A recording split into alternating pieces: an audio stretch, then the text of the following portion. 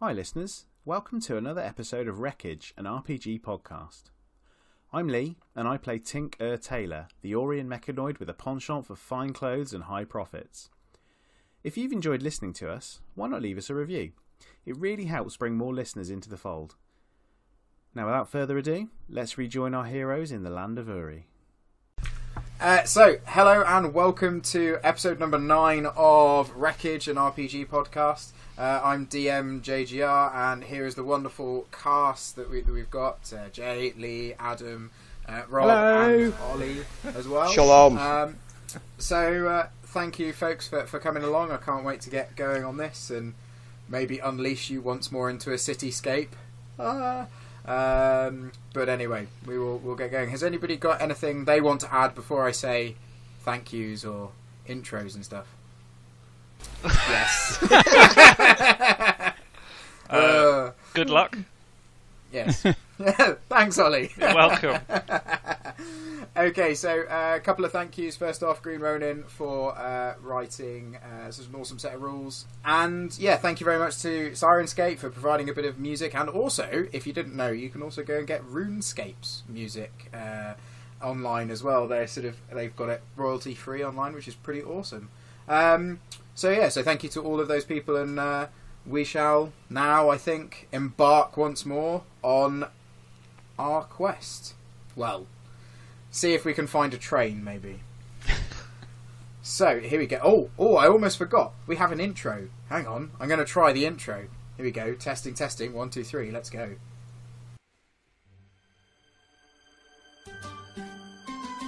Oh, oh great. Doodle-doodle-doodle. Da, da, da. Yeah. Ah.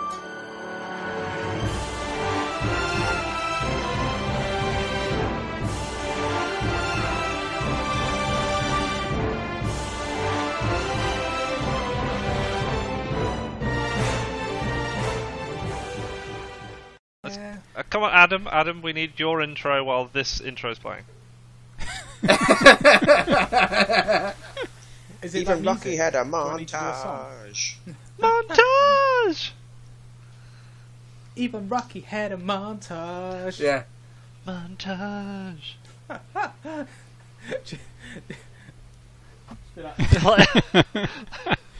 That's like a 1980s newsman. And what's what's wonderful about this is we've been back from the intro for a Oh. good five seconds, so uh, just in time for those amazing poses. Oh, great. Okay, cool. Well, that was good fun. So, uh, without further ado, uh, let's jump back into the world of Uri. So, uh, last time round, our group headed out from the monastery in the misty swamp and made their way to the grand city of Marquis, the largest city in the northern Aurum coast, and what some see as the northernmost bastion of civilization. Our group set about their tasks, Galen finding the Ember Order house, and Tink going for an upgrade, while Tan and Mac went looking for a drink and also a train. Unsuccessfully, I might add, but with some killer binoculars. And Gillis, the well. Uh, and the brushes. Don't forget about the brushes. and the brushes, and the brushes. I'd completely forgotten about the brushes. One of a kind brush, I remember now. I haven't even And, them on well- my character sheet. And well, Gillis, he sat in the inn and had some alone time. After a day in the city, our group set down for a well earned rest. We rejoin them as the sun begins to rise and shine through the window. Once more, an early morning frost and chill in the air. As the fires begin to start stoke up and smoke starts to rise above the city once more. Further into the city, in the Clockwork District, Tink is just being switched back on. Clockwork Over to Quarter. you. It's the Clockwork Quarter, John, but okay. Um, so he- he's going Oh. to come back online. I'm guessing is he led on a slab or something? Yep, so he's currently on that sort of slab that's rather like the, the metal sort of um, gurneys that you find in the, the morgue. Um, I guess he'll- You know, Yeah. tools all around you. Yeah, I think he's going to slowly sort of sit upright, you know, bring himself upright, swing his legs off the side and look around. Is there anyone else in the room with him? Um, so as he has a little glance around, nobody else is in the room with him. The door to the sort of front of the upgrade uh, establishment is, is wide open.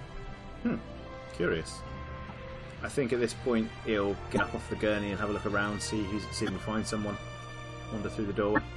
Okay, so as you as you sort of get up and you sort of take a moment to steady yourself, it's a bit strange. You know, you've been switched off for a while, but uh, you know you feel a little bit limber, feel like got a little bit of lubrication in your joints, and you sort of make your way out of the uh, the area and you sort of poke your head round, and you see just behind the bar, just on the side, there's nobody in the establishment apart from this one individual who just turns her head over towards you and says, "Ah." Finally awake, I see. Yes, it was a pleasant offline period. How are the Oh, joints yes, feeling? very, very limber. Have you, have you added more lubrication? Indeed, I have. I wouldn't. I wouldn't allow somebody to sit on my table and not have a, a good lubrication uh, whilst they're being worked on. yeah. Happy ending. I was gonna say, does uh, Tink does Tink want to check he's still got most of his kidneys? while he's still- yeah, it's, he's going to feel for like stitches. um, uh, well, from that, yes. Uh, to what do I owe the pleasure? How, how much? How much gold do I owe you? and she sort of brings over and goes, "Well, for the upgrades that I've supplied you, um, I think we're looking at around about uh, thirty gold pieces. Um, however, I am willing to add it to the tab, and I am sure that you'll pay I me do back believe in I kind. have some garments for you, actually, which are more. Wonderful, wonderful. I was awaiting my next delivery of garments, and well, what have we got in store wonderful this dresses. They are very in this season. time? Ooh, I shall indeed look forward to trying these on. I mean, if you could yes, get them delivered here, that would be as I wonderful. return to my shop. Mm, Wonderful, wonderful, wonderful. No, Uh, would I- you like I a drink before you go? Fine. Oh, it is such such a shame, but it was a pleasure working on you, and I will uh, see you in the morrow or Indeed. whenever Thank you next come and visit this fine establishment. It's no problem, Tink. Absolute pleasure as always. Um, and she sort of makes her way out from the bar and sort of pulls a pair of keys out of her sort of little uh, little bag that's hanging over on her side, and she sort of unlocks the door, opens it up, and sort of glides her hand just towards the door, out then, I guess. gesturing for you. As you as you make your way out, you sort of you sort of hear this little exhale of air as she shuts the door behind you, and sort of you can see her just walking off back towards the bar through the little gap in the in the door, and you make your way back out into the the clockwork. Um, Uh, I guess. I'll need to regroup with the Um, others. where would you like to go? Uh, was I aware of their last whereabouts? Yes, you were. You were because you all split up from from that point. So uh, yes, you can make your way back there. It sort of takes you a little stroll, and, and it takes you about twenty minutes or so to stroll towards the inn. Um, it's, a, it's a cool morning. The smoke is starting to rise above the city, and you can sort of feel that in your olfactory senses uh, as you stride through. The, the hubbub of the city is starting to grow as people go around their early morning deliveries, and you see the odd cart come up from the docks with fresh fish uh, and, and shellfish as you sort of make your way back towards the Gatehouse Inn near the entrance of the city sort of around this time, the rest of you are starting to, to rise in your shared room um, at the top of the, the inn. Um, after what was it for you and the last few days, and you've had an incredibly comfy night's sleep. The beds aren't amazing; they were sort of they're a mixture of straw and feathers, and you know they're they're, they're sort of not the, the most glorious beds you've ever stepped in. But after stone, mat, floor, and the, the wooden straw beds you had in Tosca. This was one comfy night's sleep. Um, and you all start to, to wake up to the smell of fresh food being cooked below. Over to you.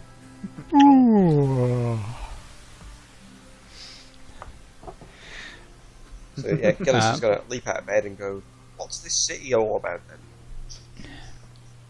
Having not seen it before. Um, there are some good drinks not far from here, It's a bit early, man. but they have left my head hurting a little bit. You two be quiet. I'm trying to sleep. It's at this time as well that you just hear this really pathetic from over on the side. oh my god, well. I forgot about Jeremy getting drunk. and you sort of like look over and there's there's Jeremy, the the, the small horns appearing out of his head, and, and sort of like massive bags under his eyes, and sort of like slightly bloodshot, and he sort of opens his eyes and then shuts them again, and sort of almost recedes a little bit further into his wool if he could. Uh, I, I will go over to Jeremy and, and, and comfort him uh, and say, It is alright, Jeremy. I know what will fix us. Let us go and get some breakfast and we will feel better. And uh, is anyone else coming for breakfast? Gillis is, uh, yeah, I'm up for that, man. I'm gonna uh, throw the covers off me, and uh, oh, God. yeah, and you can assume he is pretty much naked. Um, and he's gonna throw on his robes and come and join you as well, old Tantan. So I Yeah, think yeah, as well, we- we Galen Galen will kind of like wake up and look at the state of these these two that have been out on the uh, on the city last night, and just kind of agree with them and say, "Yeah, breakfast sounds great. You two look like you need it." Okay, so you sort of make your way downstairs, and as you sort of walk out the room, you get hit by an even heavier wave of cooked meats and sort of all freshly baked bread is sort of hitting your noses, and you sort of make your way downstairs. It's lovely, cozy, and warm. The fire's already going on the side. Um, behind the bar, there's um, a brunette. She's there, just moving around some plates and loading up some different meats onto them. And she sort of looks at you and goes, "Ah, hello, hello. Uh, breakfast for, for five? Yes, Uh, yeah, yes, Yes, please. good, good." And she sort of looks over and she sort of starts sorting them out. And says, uh, please, please take a seat. I'll, I'll be with you shortly. Amble over Uh, and yeah. find a spot. Yeah, so there's a there's a real nice one just next to the fire, sort of a little wooden table, and you sort of take a seat. And within moments, she's coming across. She passes four large plates for you, and, and on these there's there's lovely meat, sausages, there's a little bit of bacon, and a, and a freshly pieced bit of bread. And she brings over in a smaller bowl, um, sort of a, a mixture of veg, and just puts it on the floor by the sheep, and goes, "See, five, I counted." And she's just, uh, "Is there anything else you would like?" Uh, could you, uh, have you got any eggs? Eggs. Ooh, I, I will go and double check to see if we've got any eggs. Could you, could you crack a raw egg into a pot with a bunch of black pepper and maybe some milk if you've got any? Put that in there as well. Oh, okay. Uh, she sort of like looks because okay, fine, and she sort of walks off, and uh, she goes goes to find find you some find you an egg. I'm gonna look at the rest of the group and sort of go, uh, helps with the head and the stomach. yeah, yes, yes. Um, uh, Tantan, did you find the train yesterday? Uh, I, I can't can't quite remember. uh, I know that we were drinking. I did get these though, and he's going to produce his his uh, very valued brushes, and he's like, "This one is for hair, and this one is for your back, and this one is for your beard." you see? Ah, Gillis is, Gillis is going to ask, what's, what's a train? Uh, well, it, it, uh, we, we're not entirely too sure. It's for something for transporting people. We wanted to go find it, but uh, the streets here are very confusing. yes. Gillis, try these. And I will show, shove my binoculars on his eyes. I got these yesterday. they help you see things that are far away, but I still could not see the train, even even though I had had my glasses. So Gillis puts the uh, binoculars on his face, tries to look at his breakfast. Um, obviously, it's going to be quite blurry. He's going to look at Mac as if to say, like, yeah, Mac's obviously been done over here. This is some sort of junk that he's bought. I'm like, well, yeah, you're not going to see a train through them at all, are you, Mac? And hand them back. Totally unaware that it's for things that are already far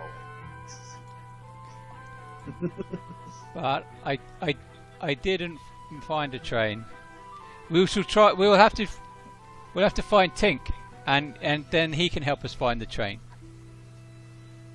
Yeah, Tink said he knew where it was, and then he left. But uh, we thought we'd try, but we weren't very successful.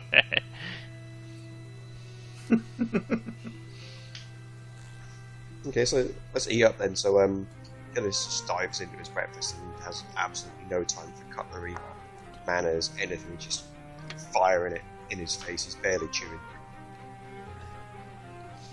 So as you're as you're there, eating all of the food and sort of getting it down your, your gullets, it's around this time that Tink you walk into the, the room and you sort of open it up and you, you see your, your companions from the last few days there, uh, acquaintances, sorry, just sat there guzzling all of this food on, on this place and you're sort of walk in.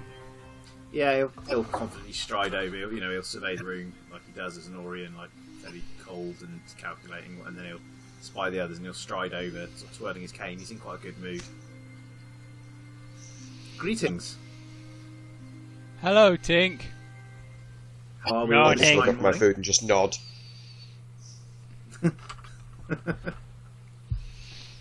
Gillis mutters We something are- you can't understand as sausage rolls out of his mouth. how, how was your evening? It was okay. We found some good drinks, but we couldn't find the train. Ah, I got brushes. hmm. and he kind of, he kind of, you see his like lenses kind of whirring a bit as he kind of focuses on the brushes a bit closer. Hmm. Yes. Well, One of a kind. re- really? Yeah, you, can, you can't buy them anywhere else. I have the only ones. Well, congratulations. Thank you. Um, I guess at this point we, we need to. Are we, are we going to find the train? Would, would you all like to find this train? Which I believe you were talking about. Yes. Did you want us to show us the place where we got the good drinks from first? Yes, in fact, I believe this may be useful. I can test out my new personality upgrade. You're what now?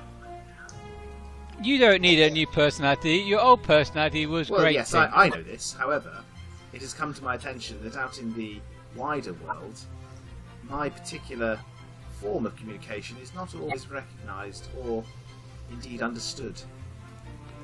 Therefore, I, I, I felt it pertinent to upgrade myself to be able to converse more fluently with the, uh, the lesser folk. I mean, the common folk. So Gillis is pissing himself laughing at this point. So he, he gets it. He understands why you've done what you've done. And uh, as he's laughing, just beams spit all running down Oh. his face. Does something amuse you, Crowman? Uh, no, no, Tink. Uh, yeah, I think this is going to be good for you. Could you? And he, he kind of cocks his head, like he's not really sure. I mean, uh, we're we're we're well. I'm definitely common folk. Why don't you try it out on me, Tink? Uh, I'm interested to see what they've uh, they've done. Hmm. Very well. One second, and then he kind of, he's kind of, he's been stood the whole time, and like, sort of jerks his head back slightly, and then his whole kind of like posture kind of changes, and he just kind of hunches down a bit, Oh no! and he kind of leans in a bit close. He's like, "Nah, Oh god! this is a bit more, how do you say, common folk. Am I right? We've got Del Boy in the chat. It's a cross between that and the uh, uh, and Moss's character from. Uh, oh yeah. Did you see that Antigua. ludicrous display last night? Play last night. I was trying to channel Billy Butcher, but Is one of clearly the I'm not very good at that. Oh, More like dear. Grant Mitchell. Yeah, if you just say you slag, it'll be right. there. you fag. Plague. Eh, eh, I figured a bit more of a common tongue needs a bit more of a common voice box. But what about Uh, the uh, common cane you're carrying around? I mean, you've got to look the part as well, Well- Tink. You need a disguise. Can't an upstanding member of society dress well? Not with that voice. Hmm. I, Perhaps you're right. Perhaps I need a disguise of some sort. I think it's a great improvement. you are so much more approachable now, Tink. I think we will get along very well. it seems that it has been a success. Uh, Very well. Being an orc of very high standing, I did not understand a single word you said, Tink. I'm afraid. He kind of he kind of looks at It's gone too common. back, and then he, he kind of he kind of stands back upright. Hmm.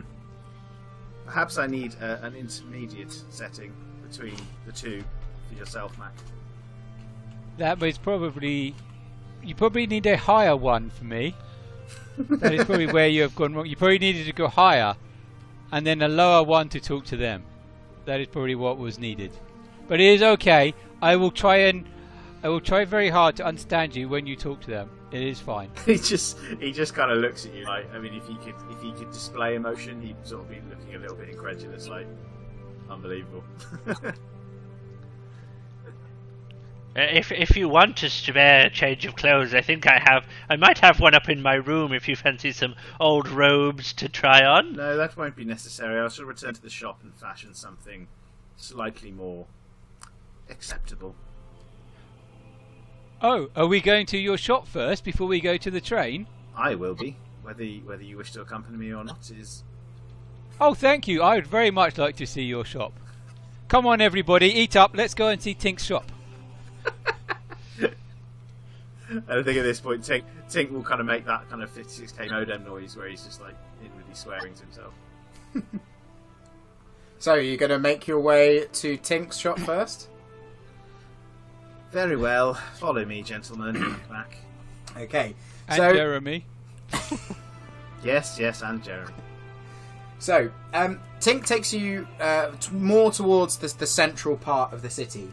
Uh, for those of you who haven't yet made your way um, through here, um, it, it brings you through the, the, the central marketplace. Um, you, you see people starting to gather, you see sort of uh, shopkeepers starting to bring their produce to the market. Things aren't quite open up yet, um, but you can sort of get that sense that the market day is, is soon to start. Um, you see the odd exchange of fruit and veg and uh, for, for local uh, businesses, but overall the other establishments haven't yet started up. As you sort of make your way through the central market, you're brought to this street, okay, and you see this big sign over the top of the street where it just says Gilder Street, okay, otherwise known as Golden Avenue. um, you sort of start to make your way up the cliffside, and it's sort of on a slight incline up towards the larger fortifications um, on the sort of the, the coastal side of the city. Um, the, the the trade here has not yet begun. There's nobody really on the streets. There's a few people um, going here and there, but what does strike you is this smell of pies. Um, just just wafts down the street, and you sort of see this sign outside the shop that sort of says "Soldier's Pie," and you sort of see Tink make his way towards the shop on the opposite side of the street. Um, you come to a small shop, single story, nestled between two larger buildings. Within the window, there is some glorious attire, very modern and very exquisite. As you take in the finery, you notice that smell of freshly baked pies again, tantalising your nose. And you sort of take a moment, look around, and as you glance back towards the shop door on Tink's shop, you see a slightly faded note. It just says, Coats missing, gone to look for them, back in a jiffy. and then below that, there's a second note in a different handwriting that's also slightly faded. It says, Still open, he left me in charge, come on in. And then there's a third note that's a little bit fresher, and it says, In case it's not clear, we're open, all in capital letters. Does the sign say all in capital letters? It's like a big No. sheet. uh, so I guess Tink will uh, go up and take the sign off the door and then head in. yeah. Okay, so as you take the signs of the door, you open the door and the door creaks and this little entry bell dings as you walk in. And as the ding happens, you sort of see this this oval face with big wide eyes on the corners of the oval. Just looks up from the front Have desk over the top and goes, Ah, Ding! Hello! Greetings. I have returned. Ah, What good to see you, good to see you? you. Ah, oh, you brought friends. Ah, and you sort of see this uh, thing. It sort of like jumps hops off its head to completely disappears, and there's sort of like this this small robotic sort of being just runs around the corner. Its head barely comes up to the top of the, the desk and, and looks at you all and goes, Ah, Dink, you bought acquaintances. Uh, hi, I am Trusty Fellow. People call me D. Who are you? We are not acquaintances. We are Tink's good friends. Oh, friends. Hmm. Yes, Uh, good pra- friends. I mean, practically family now. Adventure friends! oh, Adventure friends. So, uh, Tink, you you back for proper? No, I'm afraid I'm only here temporarily. Oh. And he sort of like as I'm sorry, but you've been doing a fine job. I have. Do you want to see the books? Yes, I, perhaps I should peruse them. Me, please come. And he sort of runs around, hops back up onto this box, and sort of passes these books over to you. And for everybody uh, watching this scenario, you see how, and you you've experienced this. You know how Tink explains every extrinsic detail of what's going on. You, you see at this moment, uh, Trusty Fellow is doing the exact same thing and is telling Tink about every single purchase that's been made, and they're just like both like zipping through this book in excruciating detail as you're all just sort of stood in the shop. All right. Whilst they're doing that, uh, Mac is going to have a look about and see if there's anything that fits him. Okay, so as you sort of have a little look around at the shop, um, the only things that you see on show at the moment are these exquisite dresses in the in the front of the the, the, the sort of the, the mannequins on the on the window side, um, and you sort of look around there, and you do see there's some rather fine waistcoats um, just hung up on a little rung just to the side as well. Um, perhaps a waistcoat would Okay. fit Jeremy. I don't think a waistcoat is really Mac, Okay, but so as you sort of like you move over, and there, there's a few it that made would of probably wool? fit Jeremy. uh, Mac is just going to happily just experiment Okay, whilst so Tink is otherwise occupied. so whilst Tink and Or any of the dresses made of crow uh, feathers. no, sadly, none of them are made of crow feathers. Any So Gillis tosses his emo any other type of feather Feather boa. attire there? There's a few hats that have got feathers. in. Seagulls. Ooh. There you go. Oh, my headdress is my uh, my connection to the mighty. Lord. Oh, So- A little bit of time passes, and then finally, The, the cloak is so it optional. probably takes about good 10, 15 minutes or so of you sort of all sort of stood in this shop, um, and Tink and, and, and Trusty finally finish uh, going through the book. I think at this Uh, what would you folks like to do? He's going to fashion a garment uh, that looks a bit more common. Uh, potentially one that who either keeps it on him or he's just going to dress in it. Okay. And it'll just look a bit. You know, it will still be a suit and a bowler hat, but it might be like you know there'll be a ringer and it will look dusty and dirty. He's going to like properly disguise it up, as it were, to look a bit more unassuming. Okay, so Uh, yeah, so um. I would like you to make a crafting check, please. First roll of the So night. really need to up that. Uh, crafting Oh, is Well, I'm a bit uh, dexterity, so or is it 11. intelligence? Hang on, Uh, it's intelligence. Sorry. Eleven. Okay, it's not too bad. You've you've fashioned something pretty decent. Um, for those of you on looking, you sort of see Tink take up this suit from the side that's sort of been out in the back for a little bit, and he sort of puts a few tears in it, and you then see him sort of throw it on the floor, tread on it a bit, and sort of like run it around on the floor, and then he sort of picks it up and puts it on, and he sort of then gets a, a top hat, and he does that wonderful thing where he punches through it. Uh, makes the, the top slightly How do I uh, ajar as well. And Um, sort of puts it on, and, and here he is in his slightly more common attire. uh, Um, you look good. I was going to ask you to make me some clothes, but perhaps there is someone else we can find nearby. I'm, I'm sure I can fashion you something. What would you? It, it, uh, it is okay. Um, no, your clothes look really good, Tink. Um, Very kind of you. okay. Uh, Mac is just going to wander off and just play with Jeremy. sort of put the waistcoats back onto the thing, and you sort of just have a bit of play play, play with Jeremy. Um, so, uh, what would you folks like to do? It's sort of early morning. It's sort of starting to get in. You can sort of see that you know the time that you spent in the in the uh, shop. It's things are getting a little bit busier. Uh, what would you like to do? Can we Uh, just are um, can we just regroup on what we need to do in in Archie? Because I think there's a few things that I I know that we haven't tied up. So one was the the brooch that I think Mac's still got. Do you still have the brooch, Rob? Uh, Mac proudly displays his brooch that he is wearing. so I do have the brooch. So I, I think Are you still wearing your go, crown? I am. I think we needed to go see some chap about this brooch um, in a pub. Um, but I can't remember the name of the pub or the or the establishment that, that we need to go visit. Oh well, let's just go see the train then. We do need to see the train, uh, and, and John as well. I wanted to check in with the the blacksmith, I believe. Um, Yes. uh, but I can't remember her name. it's clearly been a very long, long night. So, um, two things. So, um, at this moment, uh, as you sort of get the brooch out, you do know there was also a note with the brooch that told you um, sort of where that needed to go. Um, so that was the Sword and Shield mercenary contract. that's it, where you had that, um, as it was assigned to a Mister Smith there. Um, also, uh, the uh, blacksmith is uh, Francis's uh, blacksmith. Um, and um, she is in fact on the Golden Avenue as well.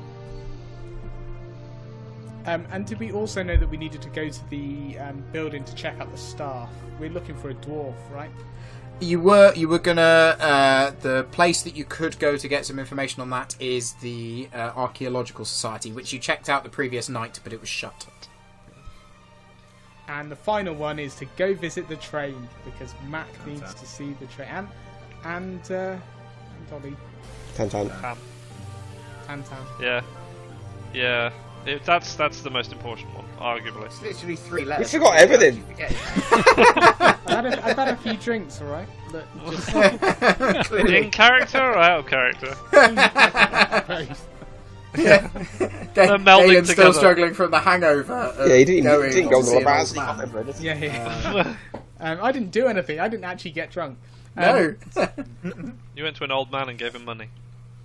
So I guess whilst we're on the Golden Avenue, it'd be good if I can, if Galen can go to this um, this blacksmith to go see Francis. Um, so I, I guess I'll let the group know that um, I needed to check in with a blacksmith on Golden Avenue. Can we head over there next before we head to the train? I mean, I think Tink would probably stay at the shop for a bit and brief um, Trusty Guy on things. So, yeah. So so feel free to um, wander off for a bit.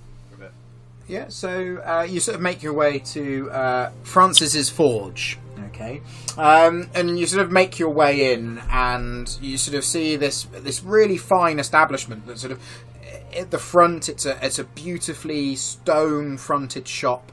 Um, you do notice that everything here is made out of stone rather than wood, um, clearly because in the centre of this establishment there is this forge just burning away, um, and out the front of this forge there's an anvil, and working on the anvil there's this large, strongly built woman. Um, with large biceps that sort of put you a little bit to shame, Galen. She is undoubtedly known as the finest smith in Marquis. She has long brown hair held in a ponytail at the back. Her face is kind, and as she looks up, you see her sort of blue eyes walk over. There is also a smaller girl at the back, in slightly ragged clothing, just running around, moving things about. She's got dark brown skin and eyes to match. And you sort of look over her, and she's wearing her hair in the same way as Fran. It's just a little bit messier. This woman looks over and goes, Hey, how can I help?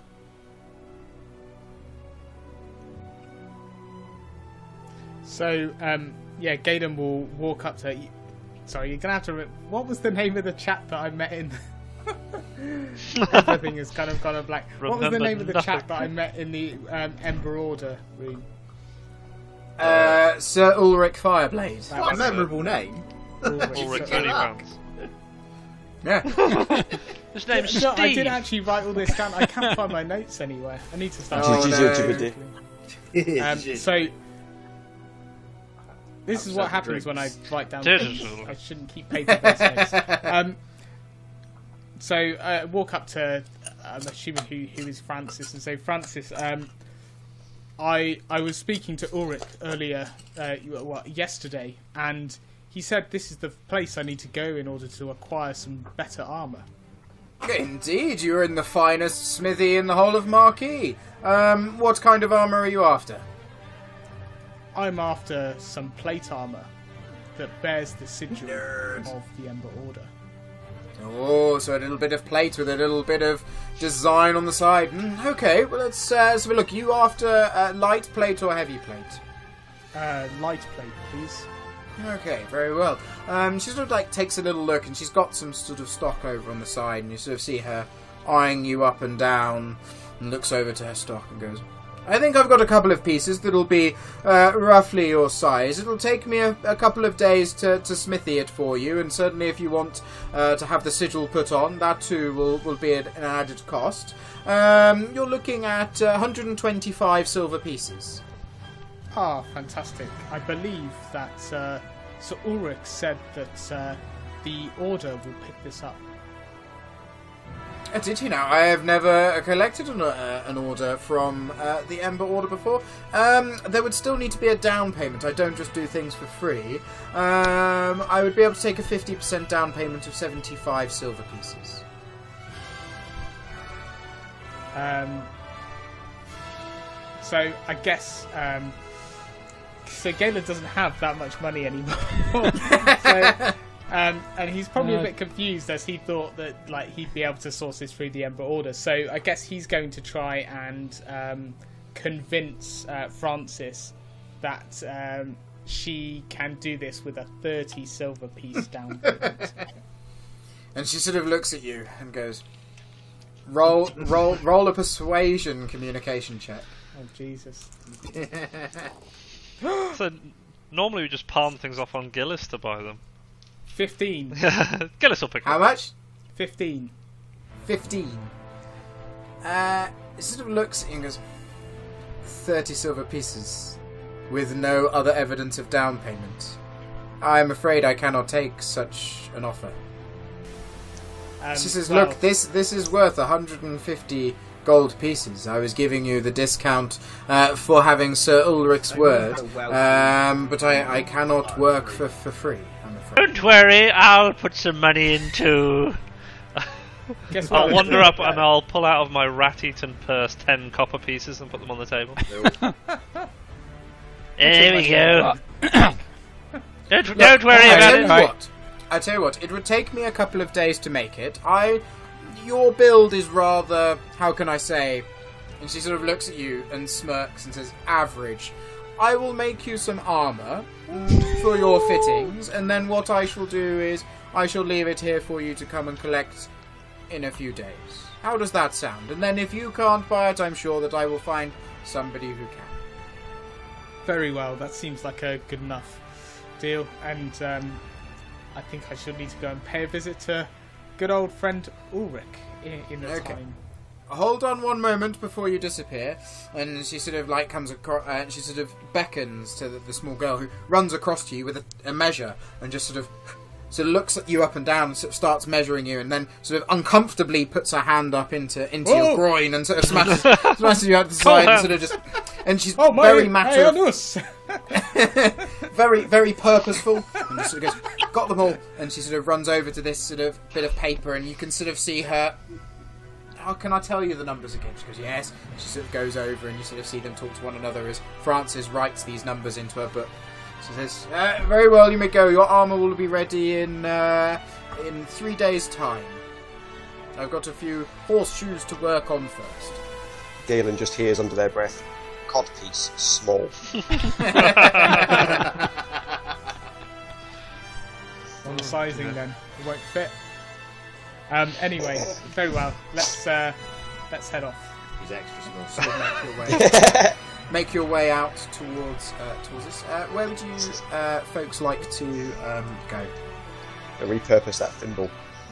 and I'm assuming you head back to Tink's shop to collect. Uh, yeah, Yeah. Tink will kind of meet them part way. So what he's done is he's folded up his original suit and he's now so he's wearing the kind of disguise, but he's kind of wearing like a, a bit of a poncho to kind of cover it up because obviously he's quite a well-to-do, high-standing member of society in, in Marquis, so he doesn't want to look obviously dishevelled because it'll obviously bring the reputation of his sword down. So he's he's kind of covering most of it in like a, a cloak, poncho-y type thing. So So does his, his personality thing sort of changes, sort of his gait as well? yes, yeah, he doesn't. He, he'll pretty sort of hunch over and you know.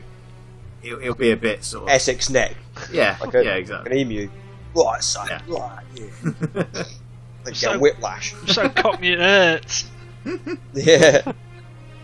Yeah, it does. It changes his whole. Essex neck. It's still him. It's just it, it's whole. It's a personality kind of core, as it were, that just overrides his etiquette and command and control nodes. As Safety features. well. but it's still him. Like Well, it's well, not. I guess it's as- not like a split personality. It is literally just him putting on a voice in a No, affecting mannerisms. As, as we walk out the um, the blacksmith shop, I think um, Galen say, "Okay, so that's me sorted for now, um, but we should really probably check out this um, sword and shield establishment and see what needs to be done about this brooch um, and this note that we received, and maybe even give Tink an opportunity to try out his new um, voice protocols." yes, it would be most sensible to do that while we are here, rather than anything. any. find your bloody brooch. Oh, I've got the brooch. Oh, if we must, then we see the train. Then we see the train map. We can Yes, see yes, the train. train. Matt, train. we will see the train. All right, let's go and see the person about my brooch. Okay. So you sort of make your way um, down towards uh, the Sword and Shield Guild. Uh, you've walked past it a couple of times already on the way to the central market. Um, you recognise this uh, sigil outside, hanging this uh, this building. It's one that a few of you have worked for in the past and sort of have been to its various establishments. In fact, for some of you, this is not the first time you've been here. It hangs outside this stone building, standing out from its wooden neighbours. It's like a miniature fort on the corner of the street. You see a guard at the door, wearing no recognisable insignia. He's a mercenary, no doubt. A mix of leather and chain armour, with a sword and pistol hanging off his hips. He's got a strong black beard and scraggy hair, and an eye patch over his left eye. And as you approach, he sort of looks over, just nods, and just sort of scans you through. Sort of opens the door to the side and beckons you in. Yeah, so lead, somebody lead the way. Tink, Yeah, Tink make we all go in. Yeah. yeah, Ma- yeah. Mac's going to go in first, and he's going to turn to uh, Gillis and say, um, "You know, when a king normally enters somewhere, there usually is someone who goes in first and blows on a trumpet and says, "Ha ha! Here is the king." Perhaps someone should do that now. Uh, I can do it if you'd like, Mac. Um, okay, go on then. okay, you wait here, and he like scampers off like an excited little child. Um, uh, is there like are they quite heavy double doors, or is it just like a little single It's door? just a, it's just an open door, single door into this into this uh, room. Uh, I'm when gonna I'm gonna pick up one of my uh, hairbrushes and uh, hold it in front of me, and I'll bust in through the door and be like, uh, uh, "Now presenting uh, King Mac." Uh, and his and his friends, uh, inc- um, including me, uh, an adventuring party. Yes, and then I'm gonna like lean out the door and be like, "You can come in now. come in, come in, come in." Mac is going to stride. Majestically into the middle of the room. So as you majestically stride into the middle of the room, you sort of see that inside there's some tables and chairs laid out. There's neat whitewashed walls with wooden beams exposed. The outer wall of brick is just merely for show. Around the room, there's various objects hung on the wall hmm. shields with ornate heraldry, a few swords, and even the most badass spiky mace you've ever seen in your life. The place is currently empty of people. All except one grey haired man sat behind a desk who didn't even blink when you walked in. He's got his quill in hand and he's making notes on a piece of paper. Tan Tan, I do not think you did that right. Is that not I not think everyone good? is meant to cheer when I come in, Oh. when you do it Uh, right. Do you want me to go in and like tell them to cheer? No, it is okay. Let's just get something to drink. Uh, okay. Sorry. Don't worry, it is okay. You are only learning. Oh, Mac, I sense a disappointment in your voice. Do you expect a bigger fanfare? Why don't you all find a table and I shall order the drinks? I think it's time I tested my new personality core. Oh, I'm not going to find a table. I'll come with you, Tink, 'cause I need to see this. Yeah, Very we'll well, find it. Tink. We'll find a table. Um, and I guess, like, Galen makes sure that Tink takes the note with him, at least, that we got with the brooch. You might need this. Very is, well. is this actually a bar? It's not a bar, is it? Yeah, we just assumed here. We have to We just assumed That that was we're going to get a- drinks. I Carry, was like, carry on, carry on with where you're going with this. Go on. I'm pretty sure it's just a mercenary place. Well, we're not going to tell Tink that. Okay, fine. so Tink takes the brush and he kind of he, he stiffens up and then he kind of hunches over into his kind of slightly more common kind of. Well, not not the brooch. The brooch is still on Mac. We just you got the note that says we need to go return the brooch. Okay, all right, fine. So I've just got the note then. We have we have discussed with taking the the. So he's gonna kind of- yet. Not strut, but he's going to kind of walk fairly confidently over. He's, he, yeah, swagger. That's, that's the word I was looking for. Okay. Is he carrying some carpets under his arms? Yeah. Look, yeah. Okay, he swaggers over, and as you swagger over, man's uh, like just there writing in his So book. Tink's just going to get the note and just like pop it on the table, turn it around to orient it towards the guy, and just slide it towards him. and he's there writing. He, he takes a look up at it, and he sort of puts his glasses onto the end of his nose, and he looks up at you and goes, "And Well, do you have it? I think if you uh, take a look at my compatriot over there, you see it's uh, pinned to his lapel. God, they'll really let anybody be a mercenary these days. And sort of puts his glasses back on and sort of looks over towards the side and goes, "Oh, Back in Really? my Are you going to take that Can thing? come over here a minute? uh, back in my day." And he's just this Uh, man looks at you. What do goes, you want, Tink? Uh, I believe this man needs to take a look at your brooch. Uh, okay. Uh, is that a euphen? Euphen? Is that a is that a rude word you just said, Tink? It, uh, no, no, Mac, no, just, just look at it, right?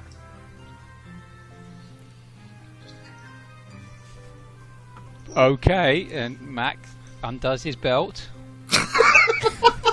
No, no, Well, th- this man's there with his glasses on going- The thing on your chest, mate. Oh, sorry. Uh, yes. Oh, we got this in a, in a. It was it was an in an in a church, and there were lots of wolves that were very weird that looked like bears. And he picks up the bit of paper, looks at it, and goes, oh, "There was an illustration with this. I wonder if I got the old description." So he just looks at you and goes, "Do you know, back in my day, mercenaries used to have a bit of class about them." And sort of goes down you to know, the side. back in my day, servants knew how to speak to their betters.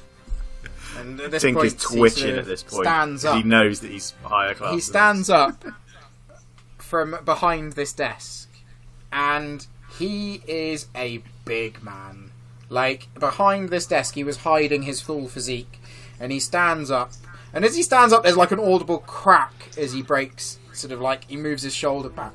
And he looks up and you sort of see his whole face. He's weathered. He's got this short grey hair and sort of a few scars on his face on the side that was sort of away from you. His face is clean shaven, his eyes are dark blue, and you sort of notice that his nose is ever so slightly wonky. Clearly, it's been broken once or twice. And he just sort of raises up, and on his hip is this beautiful, ornate pistol. And he just sort of like rests his hand on it ever so slightly. He says, I think you should watch your tongue, Right, especially Mac if you want going. to get paid. Mac Okay. is going to take the scepter and just gently push the crown up a little bit on his forehead and just say, Do you see what I have on my head? And he sort of looks at you and goes, Yes, you're wearing a cushion on your head. Um, and he sort of goes over onto the side and he So puts while he's out this doing book that, and he Tink starts kind sort of of like flicking through lean this book. towards Max. and, Maybe you should uh, talk to him like that. Might be an idea. Might not be a good idea with that pistol of his.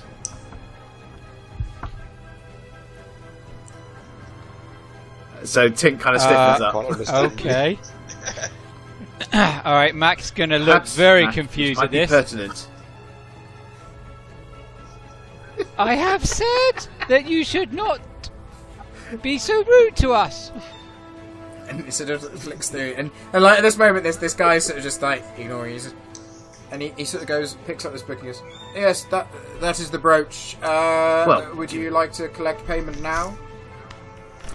Well, given that we've brought it to you, and that was the agreement, yeah, I think payment would be a good idea. Very well. And he sort of reaches over. He sort of gets this little pouch out onto the front and uh, sort of sits there, nice and hefty with, with some weight. And he goes, 50 silver pieces, all yours. Um, um, Tink, are you selling my brooch? Well, yeah, that was why we came here, right?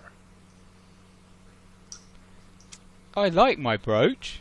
So Tink is going to step back and kind of stand behind. He's going to put Mac between him and this guy behind the desk, and he's just going to stiffen up back into his normal kind of personality. Mac, we, we need to sell this this brooch. I, I, I believe you may have to say goodbye to it. However, I'm sure we could find you an alternative brooch somewhere else in Marquis. Right before we get the train. Why do we need to sell this Well, brooch? to get on the train. Gillis Gillis sneaks in and is like, Mac, think about what we can do with the money. We can actually, rather than just see the train, we could buy a ticket for you for the train. You can get returned to Mac. How long have you been working on that? About a week. Mac takes off the brooch, slaps it down on the And, on and the Tink will kind of counter. like get, revert back to his common form and, and step out from behind Mac. Here you are then. 50 silver. 50 He silver. goes, uh, oh, thank you, thank you very much indeed. Mr. Smith will be glad to see this, I am Mr. sure. Smith about, is he? puts it over to the side. Has he got any other work? Ah, oh, Mr. Uh, Mr. Smith, uh, he'll probably collect it in a few days. They, somebody seems to come like every couple of days to check if anything has arrived for Mr. Smith, and well, now they'll be happy that they've got something. In fact, that that gentleman was in here a couple of days ago. He'll probably be around later. Um, any jobs? Yes, we have jobs. Uh, they're up on, on the wall, just on the side. You'll be able to see them there. Alright. Okay, whilst people are distracted and talking, maybe not at this exact moment, Mac is just going to try and steal the brooch back. Yeah, So at this moment, as soon as as soon as Tink puts the, the brooch onto the side, he sort of takes it and puts it into this little uh, bit on the side just under his desk, and he sort of sits back down on his desk and goes back to writing. Um, clearly, there's this little bo- lock box just to the, the side of him. Um, and he sort of sits there and goes back to writing, and is just sort of like stood there. "Uh, Can I help you, good orc? Oh, are you going to make me do this really obviously? I don't think And it's he a sort of good looks at you and idea.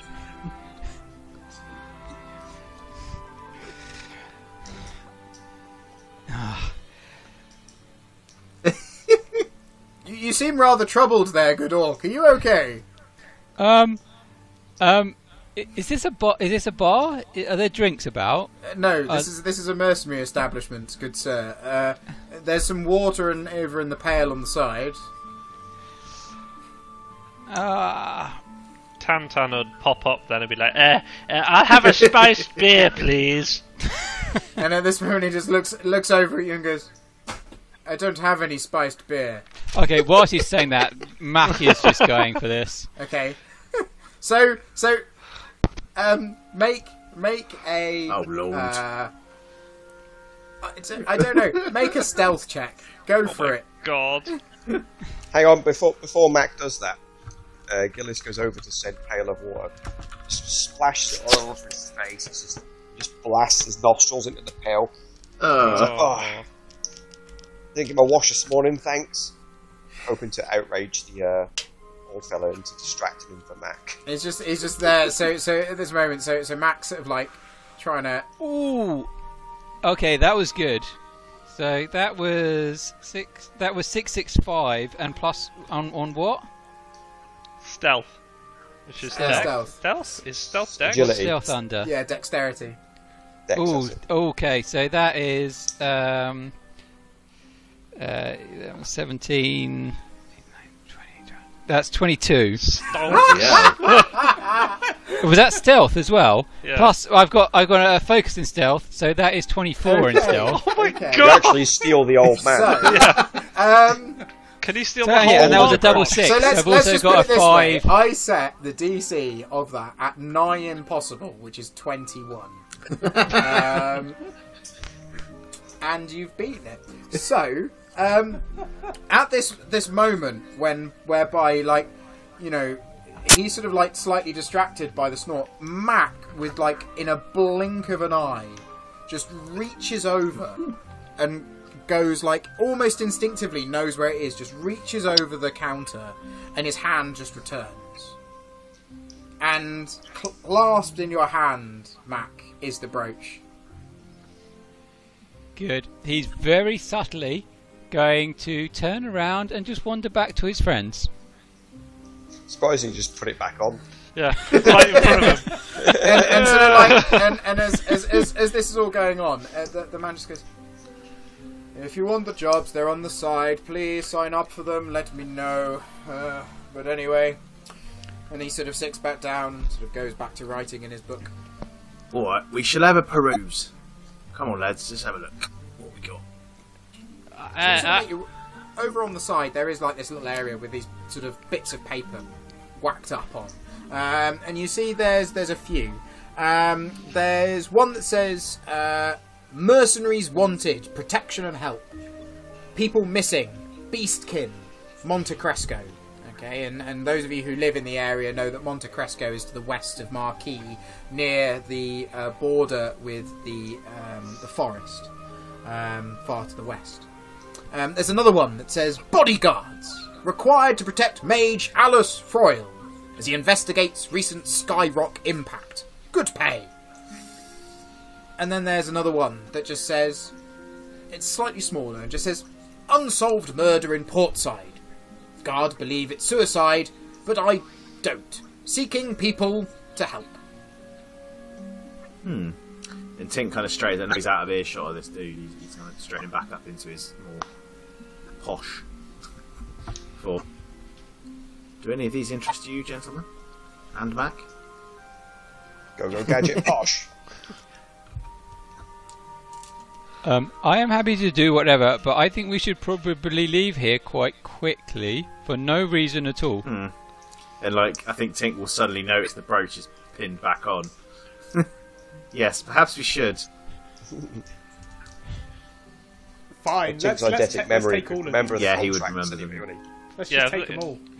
have they got like little tear off Yeah. tabs, or are they like Uh, so there, there are there are dog, contact there are contact details for some of them. Um, however, with mercenary contracts, the way that they are normally given is you sign up for them. Um, Okay. So you basically take them on. Um, and it sort of gets logged and, and various other pieces. Obviously, when you're cashing them in, you cashed one in because you had the document that was for the brooch. So that's how you were able to cash it in. So basically, it's like almost you get given a contract. Gentlemen, why do don't you wait outside and I shall sign us up for all three of these. Yeah. Okay. Uh, should we sign up for Okay. three, or should we choose choose one? Well, I mean, do we lose any money if we sign up for all three and don't do them? We'll lose reputation if we don't. Yeah, so if you Do if we you, have a you- reputation? normally, normally, normally with Yeah, we're the guys who steal the stuff we drop off. normally with regards to mercenary contracts, they tend to only Hmm. supply one at a time per location. Um, because obviously, if you were to do one and take one, So that will have a Portland, timestamp on it for or- the other ones. So, Not to game the system, but could, could we come in as individuals? But individuals? let's not. Let, if you wanted each. to, theoretically, yes, you could. So, um, But I let's guess, not. Let's go for Let's one. not, yeah. I guess do we? Galen, Are we talking in hushed tones at this point? I guess? Yes, you are. Ga- Galen will kind of close his eyes and just say, "Lord, Lord of Flame, gui- guide us. Which contract should we take?" Which one should I set Okay. lightly? Uh, You can't start a fire. okay, roll roll a d6. Oh, hang on, just a d6. Five. Five. D3. Okay. Innit? We know how Adam what- is with D3. And you and you point at one of them, and your la- your finger lands on the people missing due to the Beastkin raids in Monte Cresco. This Is one. there a We'll count this there? one. Gillis doing similar. I used to great god Rook. Uh, uses his uh, thumbnail that's razor sharp to pinch his finger, and he just flakes blood at the uh, at the board, uh, hoping to divine which one to go for. Okay, roll a d6. One second, just got to delete How uncouth. It is a three. It is a three. Okay, It's so also as you Cresco one. yeah as you as you flick them across, Rook has a slightly different guidance. Uh, he thinks you should uh, go and investigate the recent Skyrock impact. Uh, Max My is going to lean in and just say, "I really think we should go quite quickly." Mac, how about you wait outside while we finish up here? Okay. And So Gillis is saying, "Well, my name is Gillis Skyrake, and there's a Sky Rock. So yeah, it's too coincidental for me, and obviously Coincidental. You're, pinpoint at that one. don't you like things that come from the ground? This thing came from the sky. But it's made of rock. Rock sounds like rock, another right? world. Oh, Well, I think we must should be go for it's this. one. preordained. Tan That's what Jeremy Which one should we go for? Um, You can't even tell where Tantan's looking. I'm looking at all three simultaneously. Um, Points ninety degrees in the At other this direction. point, have go I go on. Tantan. um, have I ever heard of Beastkin and what sort of uh, Uh, so- damage they might cause? Or Yeah, so you know that Beastkin Beastkin are things that you know people of your you know mercenaries. You're with some strong people; they could probably handle Beastkin. Um, you know, It's a local heavy metal band. yeah, you, you actually you've you've heard of um, you know, you, you recognise the name Alice Froyle. He's a bit of a twat. well, I've heard the name Alice Froll before. He's a bit of a knobhead. Is that knobhead. all you've written in your character description, Jonathan? That guy, I love that. it's just it's just Alice Roy, a bit of twat in the description. Yeah. Well, that I settles How it then. tall is he? going for the Very bearskin. whitish. Well, what about Very the well. murder? That sounds interesting. Well, given that the murder's already happened, we could always come back for that later once we've done this one.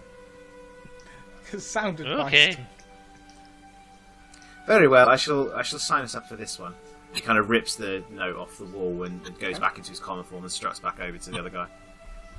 and he sort of looks up and goes, "Oh, you're signing up for a contract? Yes. Uh, I think- pass it over. I think this one will uh, suit us right down to the ground. Very well. And sort of takes it off you and looks at it. Uh-huh. Very well, yes, this been there for a couple of, uh, about a week or so now. Just So- out to so? and sort of, yeah, yeah. Uh, Not very popular, yes, are well, you? we haven't had, yeah, well, we haven't had many mercenaries come through recently. It's been a bit of a quiet winter. I mean, most people tend to hunker down in whichever city they're in, and they just don't Fair weather adventurers. at the moment. And he sort of start Fair weather adventurers, yeah, eh? no, it, it really isn't. It really isn't. Um, anyway, here, here you go. Um, I just need one thing before I finish the contract. Uh, who am I assigning this to? Uh, and Tink, like, all of a sudden, he's like, he's basically like, he doesn't know what to. Uh, G- G- Gillis, Gillis Skyrank. Okay, he just writes. Yeah, that's me. Is, is that is that because because the way these contracts work, good sir, I'm sure you know, considering you just handed one in, is um, I need to write down everybody who's involved in the contract just for future purposes. Uh, do you have a Well, it is- name, a group name, or anything? Yeah, we're um, um, Wild stallions. It's KFC. the? Mitchells. you can't have wild stallions. That's my other group. Um, Oh, uh, we are. What's what's our name, lads? Well, we're what's our name, lads? And he sort of starts writing down, "What's our name, lads?" Yeah, Uh, what's our name, lads? That's uh, that's very good. Um, anyway, and he sort of passes the bit of paper back to you, and on this bit of paper, you see there's this document that sort of has the contracts, and it gives you a contact uh, for the contract as well, um, which is in in Monte Cresco. It just says it says uh, head of the guard, Monte Cresco, um, written out, and um, yeah, you you now have a contract. And uh, at this point, Tink will actually pick up the 50 silver that he forgot to pick up earlier, pocket it, and just and, and take the note and be like, "Pleasure doing business with you." Pleasure doing business with you. Uh, come back if you ever need anything. And sort of sits there and sort of starts jotting things down. And then he'll just kind of straight, he'll, he'll sort of turn around and just walk out, follow the others out, I guess. Um, so as you sort of make your way back outside, sort of the, the hustle and bustle of the town has really started to pick up. There's people moving to and from the market. Um, and and the, the guild itself is not far from the central market. Um, where are you going to go? Uh, Gillis is going to sort of hang off Matt's coattails. It's probably the most people he's ever seen in one place at one time. So he's feeling a bit anxious. So I guess he looks very inconspicuous. Galen will turn to Mac and be like, "So we can either go see what your staff says, or we can check out the train." Uh, I think the train. Um, just out of curiosity, did we sign up for anything Y- inside? Yes, we did. And he, I think uh, Tink Tink and Tink he signed hands us the up for something. Okay. Uh, that's good. Let's go see the train. Who the hell are what? I'm- What's our name, uh, lads? Never mind. Is that a I think, boy I think band? he misheard me. Let's, Marky? let, let's let's let's not worry about that for now. Come along. Let, let's follow me. Let's go to the train. Okay. As you sort of start making your way uh, towards the train, it takes you back towards the central market. As you're sort of making your way towards the central market, you get approached by uh, this uh, this teenage boy. He just goes, "Hello, all right, all right, all right. Would you like to see what I've got on show?" And he sort of l- looks out in front of you and holds out his little coat pocket. in Um, front. no, it is a it number of is things. okay. We do not want to see that. Ah, Thank come you. on, good sir. You want to see what I've got on show, don't you? Don't you? It's right here. Look at all of this. At this point, Galen will be like, "You can't speak to a king like that," and like push him away. oh, away. you king, are you, good sir? Good sir, king, yeah. Mm, well, well, well. Lovely. I do see you've got some great stuff on your head there. So, would you like to see some of my my other things? And he sort of pulls out the other side of his coat. and Goes, look at all of these. There's a couple of brushes hanging off his, off his coat. Uh, come on, come on. You you wanna? Wait a second. that that brush, that brush looks a lot like the brush you've got, Tam. Tam. No, this this one is mine. It's very specific, handcrafted from Bolivian oak wood, I believe. No, I think I think it looks pretty similar to the the brush that he's got over there. Okay, so at this moment that you're deep in conversation with this, um, you notice that uh, there's a couple of individuals near you. Um, you also notice at this point, um, let's go for Tantan. Yeah. You notice there is a young boy with his hand in your Oh, pocket, fuck God, I hope and not. at the at the point you sort of look down and you see he, he makes eye contact with you and he brings his hand out with a couple of It's not copper hard with pieces. Tan Tan to make eye contact. He brings his hand out with a couple of copper pieces in. And at this moment, you just see the person who's been holding your attention. Good says, time to go! And he legs it. And at the moment that you sort of all take this moment, you realise that um, Mac, a teenage girl, was in your bag. Your bag now lies open, and as you glance out into the crowd in front of you, you see her running She in away with a book. Right, he's getting his crossbow the fuck out, Uh, her book, and he's shooting.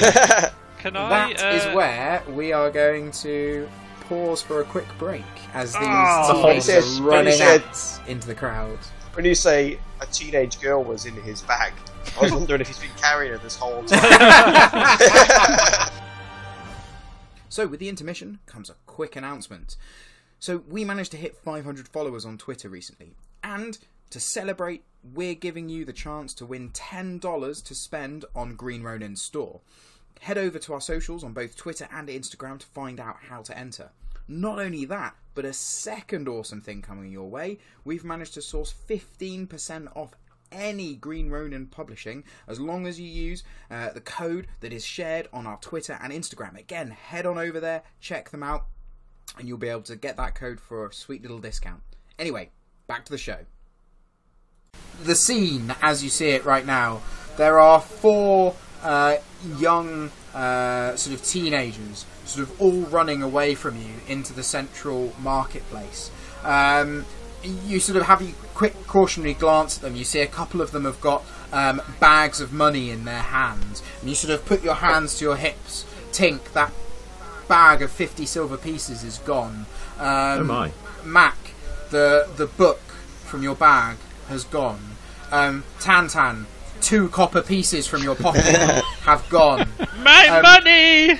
And then you see the the fourth one in the coat just legging it into uh, the the marketplace itself. Uh, this is a chase. Okay, so this works slightly differently from from some different things. So I know just before uh, we embarked on the break that um, Max said he was pulling out his crossbow. um, so what I would like everybody to do, okay, is um, as part of this, it, it works as actions. Okay, so you have an action each round. Okay, rounds sort of um, are done on on initiative, so it's like combat. Okay, um, but the actions that you can do are slightly different. Okay, so what you can do is as follows: every time, okay, a uh, a round comes around, you make a run action, a chase action. Okay, it's a special action. You roll a uh, 3d6, and if you are successful, i.e., you beat the difficulty of the test, your stunt die gets added to a total. Okay, and you have a running total. Okay, um, if you are within 10 of another person, you can shoot them at long range.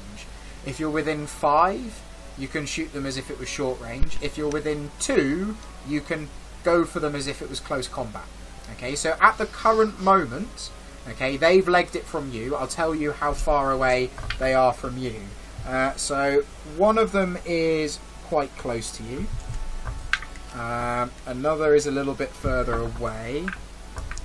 Um, the one with the book has properly legged it away, and yes, as has uh, the one with the fifty copper pieces in it as well. Hmm.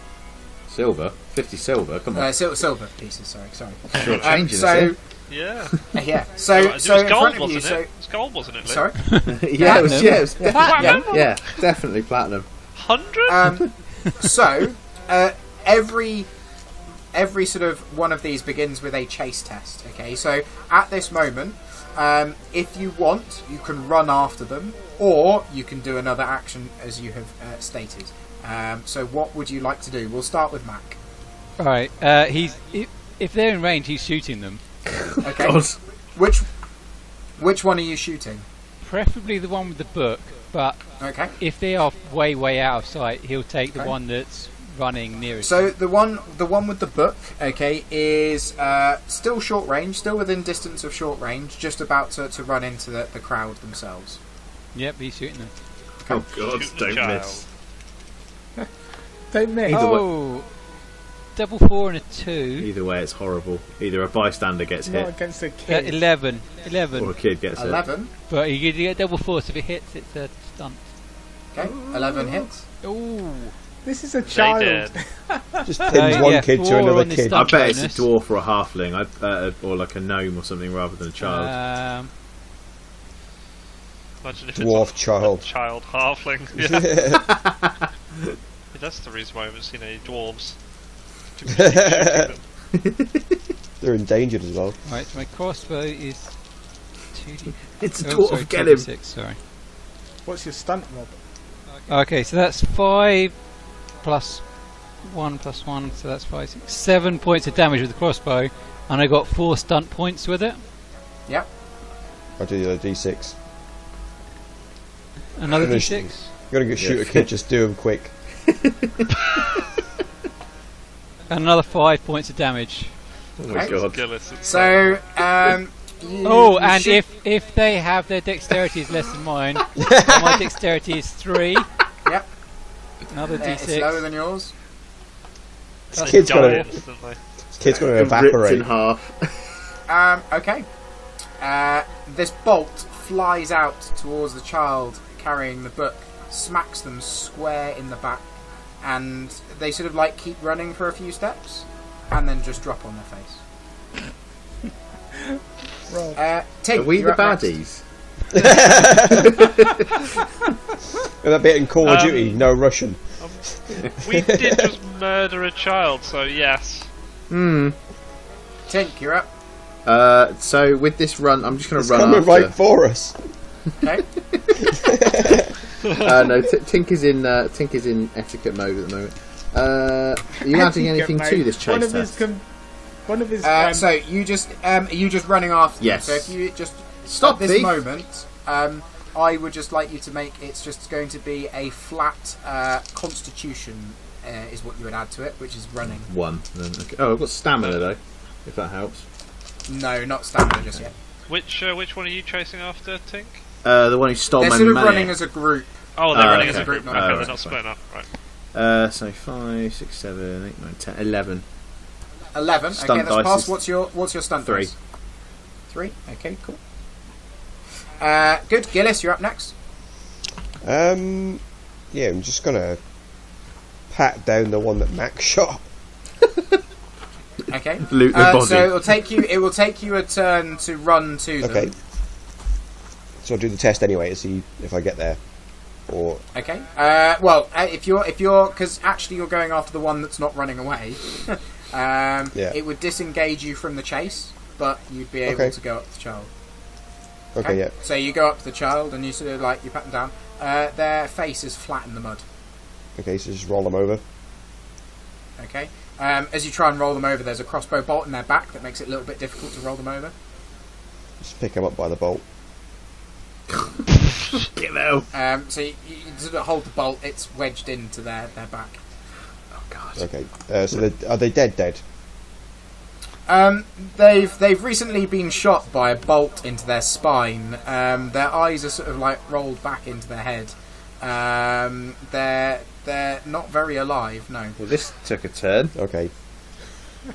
so I'm just gonna just uh, stand up and say, uh, "Nothing to see here."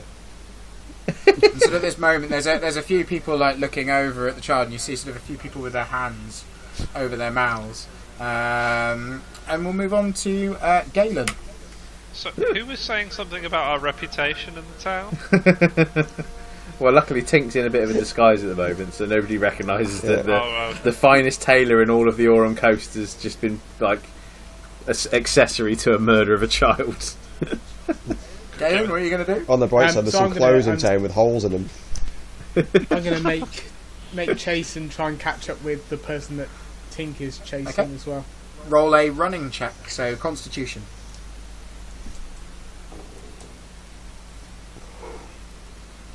Uh, nine. Nine. Okay, so as you you go to run after them, um, sort of at the moment things are clear, so you can sort of like just run after them. But you can see to see the crowd starting to gaggle around a little bit. And In fact, because of the commotion caused by the shot body, there's actually sort of like you see a clear path. So you do manage to succeed. Um, what is the, your number on the stunt dice? One. Okay, cool. Uh, Tan, what are you going to do? are any of them within ten feet of me? Oh Ten god. yards, Uh, sorry.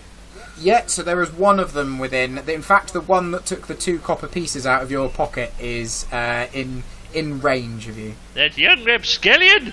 Uh, I'm gonna ca- uh, I'm gonna cast uh, Jolt on him, Okay. if that's Here possible. we go. Watch Okay. this. Watch this. Not hit him. Here comes Whoa, the whoa, game. whoa, whoa, whoa, whoa, whoa, whoa.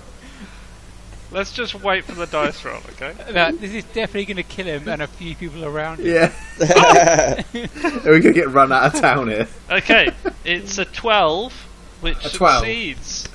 Okay, you succeed. Phew. Did you hear that, guys? Did you hear that? Go on It's then, and your noted. jolt. Doing something. So Jolt does two penetration damage, and they have to do uh, what is it? Stamina. They must succeed uh, a stamina test versus my spell power. So what was your spell power? Uh, 14. I've rolled a stamina test. Uh, I've rolled a 13. Yes. so they are stunned for a turn. Hey. Okay, they are stunned. Yeah, that's so right. happy Ten Ten's done something. Electrocuted a child is fine. He, he was actually aiming Well- for someone in the crowd. Go- what are you guys doing? You've literally killed two children in the No, space he's of- stunned, Okay, bloke. No, what's Stunned. that? Stunned. Stunned You've stunned him. He's just licked a battery. That's all he's done. licked a battery and then Rob's like shot one in the back with a crossbow bolt and now Jay's parading him around like a bloody trophy. Nothing to see here. Nothing to Like a kebab. Just holding him up like a kebab. Yeah. Wow, our reputation in this Like town puppet. has suddenly taken a. Okay. So back onto the kids who are who are running. Uh, so Faster now. First one doesn't succeed. Well, one of Yeah. them isn't. Yeah. Well, two of them aren't. Sorry. Fifty No, percent two reduction in running One of children them at the moment. won't run again. Cool. So, um, so two of them are continuing to, to run in, and the, the one that's stunned, sort of just like taken a moment and is, is sort of stunned for, oh, and sort of trying to shake things off because they can't do anything at all this this go. Um, so they're sort of just in front of Tantan, who's who's jolted them with this electricity. Uh, so Mac, over to you. Uh, Mac will walk over and recover his book. Okay.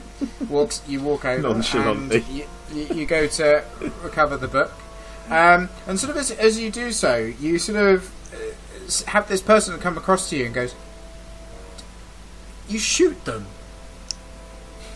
Yes? Why did you shoot them?" He stole my book. And you sort of see a couple of people. You don't. Uh, you, uh, and you sort of like see this person is like completely gobsmacked and just like. And, and this other person sort of walks across and goes, Well, you do know most of the pickpockets in the city are orphans. um, and from that moment, we'll move on to uh, Tink. Well, no one's going to miss him then. Oh, Yeah. no witnesses. oh god. Over to Yeah. Tink. Uh, I'm going to keep running. I've got to chase this guy down. He's got my money. Okay, go for it. Oh, Go, go, yeah. gadget legs. That's, yeah. yeah. He's got roller skates built in. No. Uh, Rocket 10, skates. 12, 13. Go, go, Cockney swagger. 13. Okay, so that's a pass. So if you sort of try and meander your way past the crowd, okay, Mm-hmm. um, that's 13. And that actually, you- so as you're running after these two, it brings you. Um, what's on your stunt dice? Five. Five. Was Wonderful. that a T1000 Okay, so running through this crowd? You are crowd? very much. You're like. Turn you're his very hands into much hooks. in, in reach of Dun, these dun, two. dun, so dun, there's dun. these two two kids that are running from you, and you're, you're within reach of them. Um, Gillis, you're you're still at the body. Um, this person's come across and has sort of said about the orphans. What would you like to do? Um, I'm just gonna totally blag it and say he's still alive, and just pick this kid up like Kevin Costner in the Bodyguard, and just Slap leg his it. arm around. Yeah, yeah. Okay. Uh, roll roll a uh, communications Weekend at Bernie's. check. yeah. Let's get a string on it. Uh, out of thirteen with two fives and a three. Okay, good. So as people almost like you see a couple of people go and sort of exhale as you pick them up and you sort of run run off in, in the general direction. You do hear somebody say, uh, "I think there's a medic over on the, the right. You might be able to see somebody there." As you sort of like start running off on, on into the distance. Yeah. Uh, Galen, over to you. Yeah, I'm just going to carry on chasing with uh, Tink. I was, I, was- Okay. I was heading that direction. Running after Tink. Okay, so the crowd's starting to come in a little bit. So yep, roll roll a roll a chasing test, a run test. Eleven. Eleven. Okay, that's passed. What's on your stunt die? Four. Four. Okay, so you two are within range of, of the kids as well. Uh, Tan, over to you. What would you like to do? Well, I was really hoping that someone would have just walked up to the electrocuted kid and just grabbed hold of him, but Okay. seeing as no one's done that, I'm going to elect to shock him again. He's gonna, gonna piss himself. Okay, he's still stunned. He's still stunned, but yeah. I will attempt to jolt him again for Okay. a second stunned round. Okay. Uh, how about roll these dice? You've stopped his heart. Uh, that is an 11, which I think is still a pass. Yeah, that's yes, I target think is a number. success. That's 11. Yes, just Okay, passes. so it's got to make a test. Yep. Oh, no, he's failed. Yes. Uh, takes another two damage and is still stunned. yes. Just there. Excellent. Okay. Um, cool. So on to the kid. So one is going to try and get away from you, Tink. Uh, but as he tries to do so, he gets knocked and, and, and almost like just knocks over to the side and bumps into somebody and sort of like staggers and loses his feet. And you can sort of see that in your next go, you'd probably reach out and grab him if you wanted.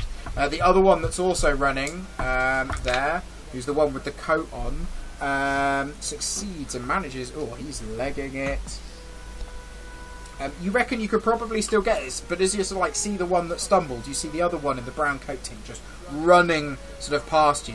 You've got a choice to make. Which one might you go for? Um, Mac, uh, you're at the body. We'll come. Uh, well, at, Gillis has just run off with the body, and you're there with a crowd of people just staring you down, looking at you.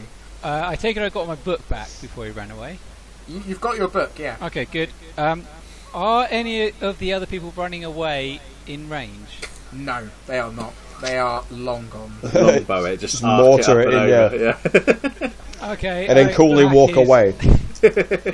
Mac is just going to put his, his crossbow back and find somewhere to wait for everyone else to come back to him. okay. All right.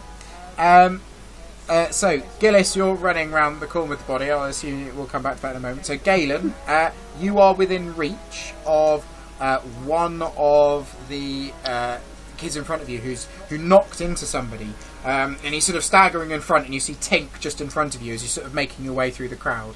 Um, there's another one. It's a little bit out of your range, and the brown coat just legging it past Tink, just further over to your right. What would you like to do?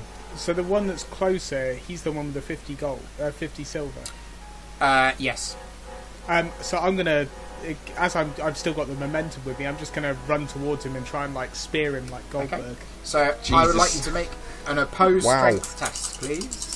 Will he beat a child in a strength test?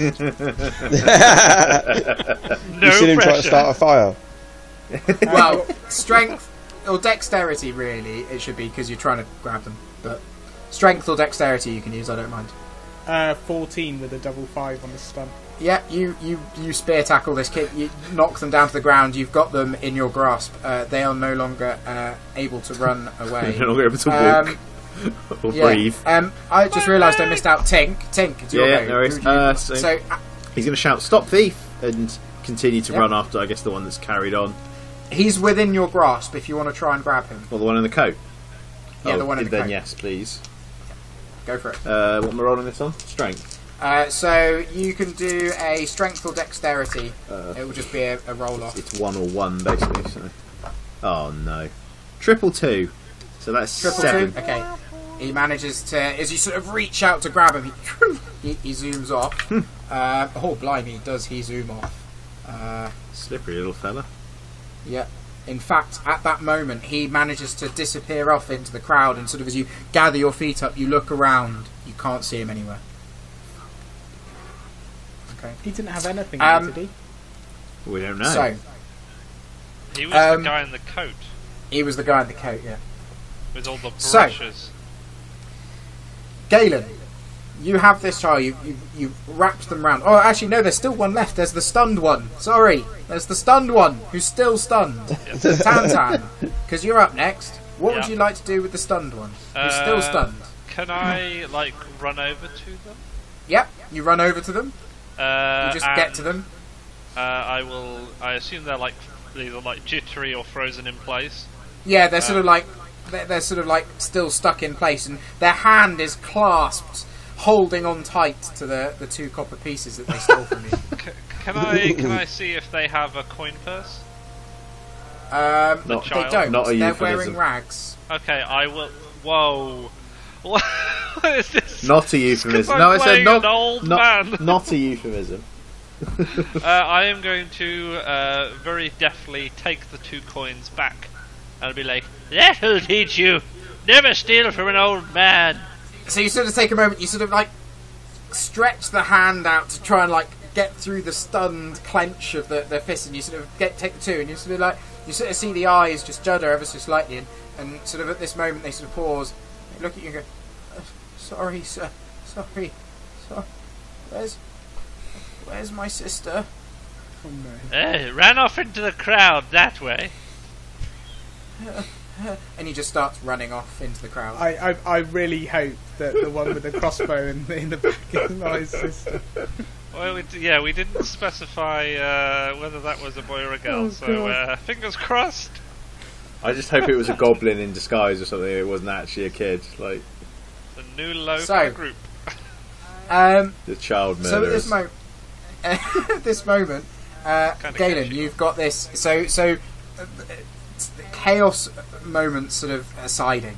There's a few crowds, of like people pausing around in the market, seeing this little ruckus that's going on. Galen, you're there, holding on to this um, one culprit uh, who's sort of like almost shaking, um, sort of just out of fear of, of being caught. Um, Gillis, you're there with this limp body uh, with a, a crossbow bolt in its in its back. Mac, you're just stood over to one side, and you sort of see Gillis um, just go around the corner.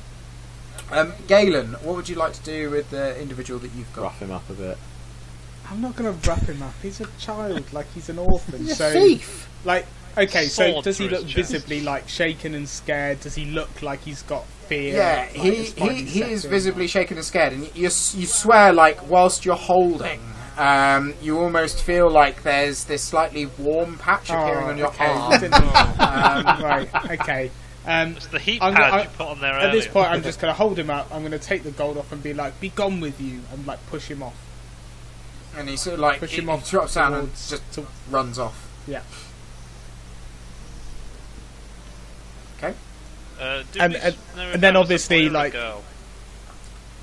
Uh, so the the person that the Gayan sort of uh, ushers off is a is a, a small uh, he was a, a small built boy. Ah, Um, he sort of had a little bit of scrag on his on his face. It's 50-50 Um, now. uh, Um, so, so at this point, I'll probably just head on towards towards Tink because I I was was. gonna say, am I chasing continuing to chase, right?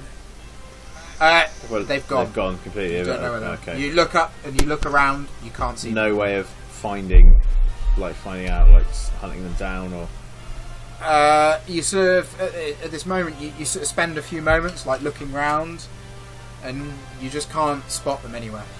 They seem to have like melded into the crowd. and that was the the young guy that had the. That was the on. guy that held you up. Yeah. So uh, uh, uh, Max just killed this uh, kid's sister. what an inconvenience. Does he still have the brushes? It's okay. I got the book back. So a few moments pass, and you sort of gather yourselves, and a couple of you notice Mac over to one side, um, and you make your way over over to, to Mac. Um, Gillis, uh, you're just off in a in a small alleyway on the side, Yeah. um, just around the What a corner. dead child. Uh, what are you going to do? Um, It's not what it looks like, he says, as we, as we um, enter the alley. can I? Can anyone see me? Um, I'd say from where you've like legged it, in the way in which you legged it. No. Um, I'm gonna have to try and recover Mac's crossbow because sort of basically the only evidence really. Pull the bolt crossbow out. bolt. Uh, Get Yes, and I don't have very many left. That Well, I is good imagine- it's barbed, so the only way I'm going to get it out is to really just push it through. Okay. So, um, So you, you you spend a bit of time. You recover the crossbow bolt. okay. I mean, it's unfortunate what's happened, but um, Fuck me, this is dark. yeah, I'm just John, maybe You don't how- introduce Yeah, any just gotta children. There are no children in push this universe. Remember how there was that unsolved murder? Well, there'll be another case on the wall when go back. hide, hide the body, Jay. no one cares about urchins. Yeah, I'm just going to have to. Is, is there anything nearby I can cover the body with? Um, as you sort of like look around in the alley, there's a few sort of uh, crates and rags and things just to, to the side, hidden away in the alleyway. Okay, are so getting um, run out of town. Yeah, I'm just going to have to. Um, Put it under your cloak. yeah, just do my best to hide the body. uh, roll a. Uh, let's go for a. Um, Hide body test. yeah. Uh, let's go Corpse for. secretion. I. Let's go for a intelligence check, or you could do a dexterity check. Either or, you could do a stealth check or an intelligence check. I got I go for intelligence. That's my best. That gets me a total of twelve. Sort of think your way around us. Yeah. I mean, I was going to disfigure them so they couldn't identify the body, but I thought that was a bit dark. Okay. Oh Okay. So you, you sort of put the body over to one side. Okay. Uh, you make your way back out the corner and you see your companion stood over, uh, just a, a little gaggle around Mac. What would you like to do? Um, Uh, before I left, have I did Oh, mutter a prayer to Rook to say, like, Oh, well, that makes it's it all better. unfortunate. That Um, makes it all better. I pray to Lord Rook that no one finds you until we've left town. Um, Not like sleep well, little one, or no, something touching. No. No, I'm pretty sure that's what Don't get Michael fucking Jackson discovered. said, and I don't think that worked the Ballad of Jackson. yeah, the, ba- the Ballad of Mr. Jefferson.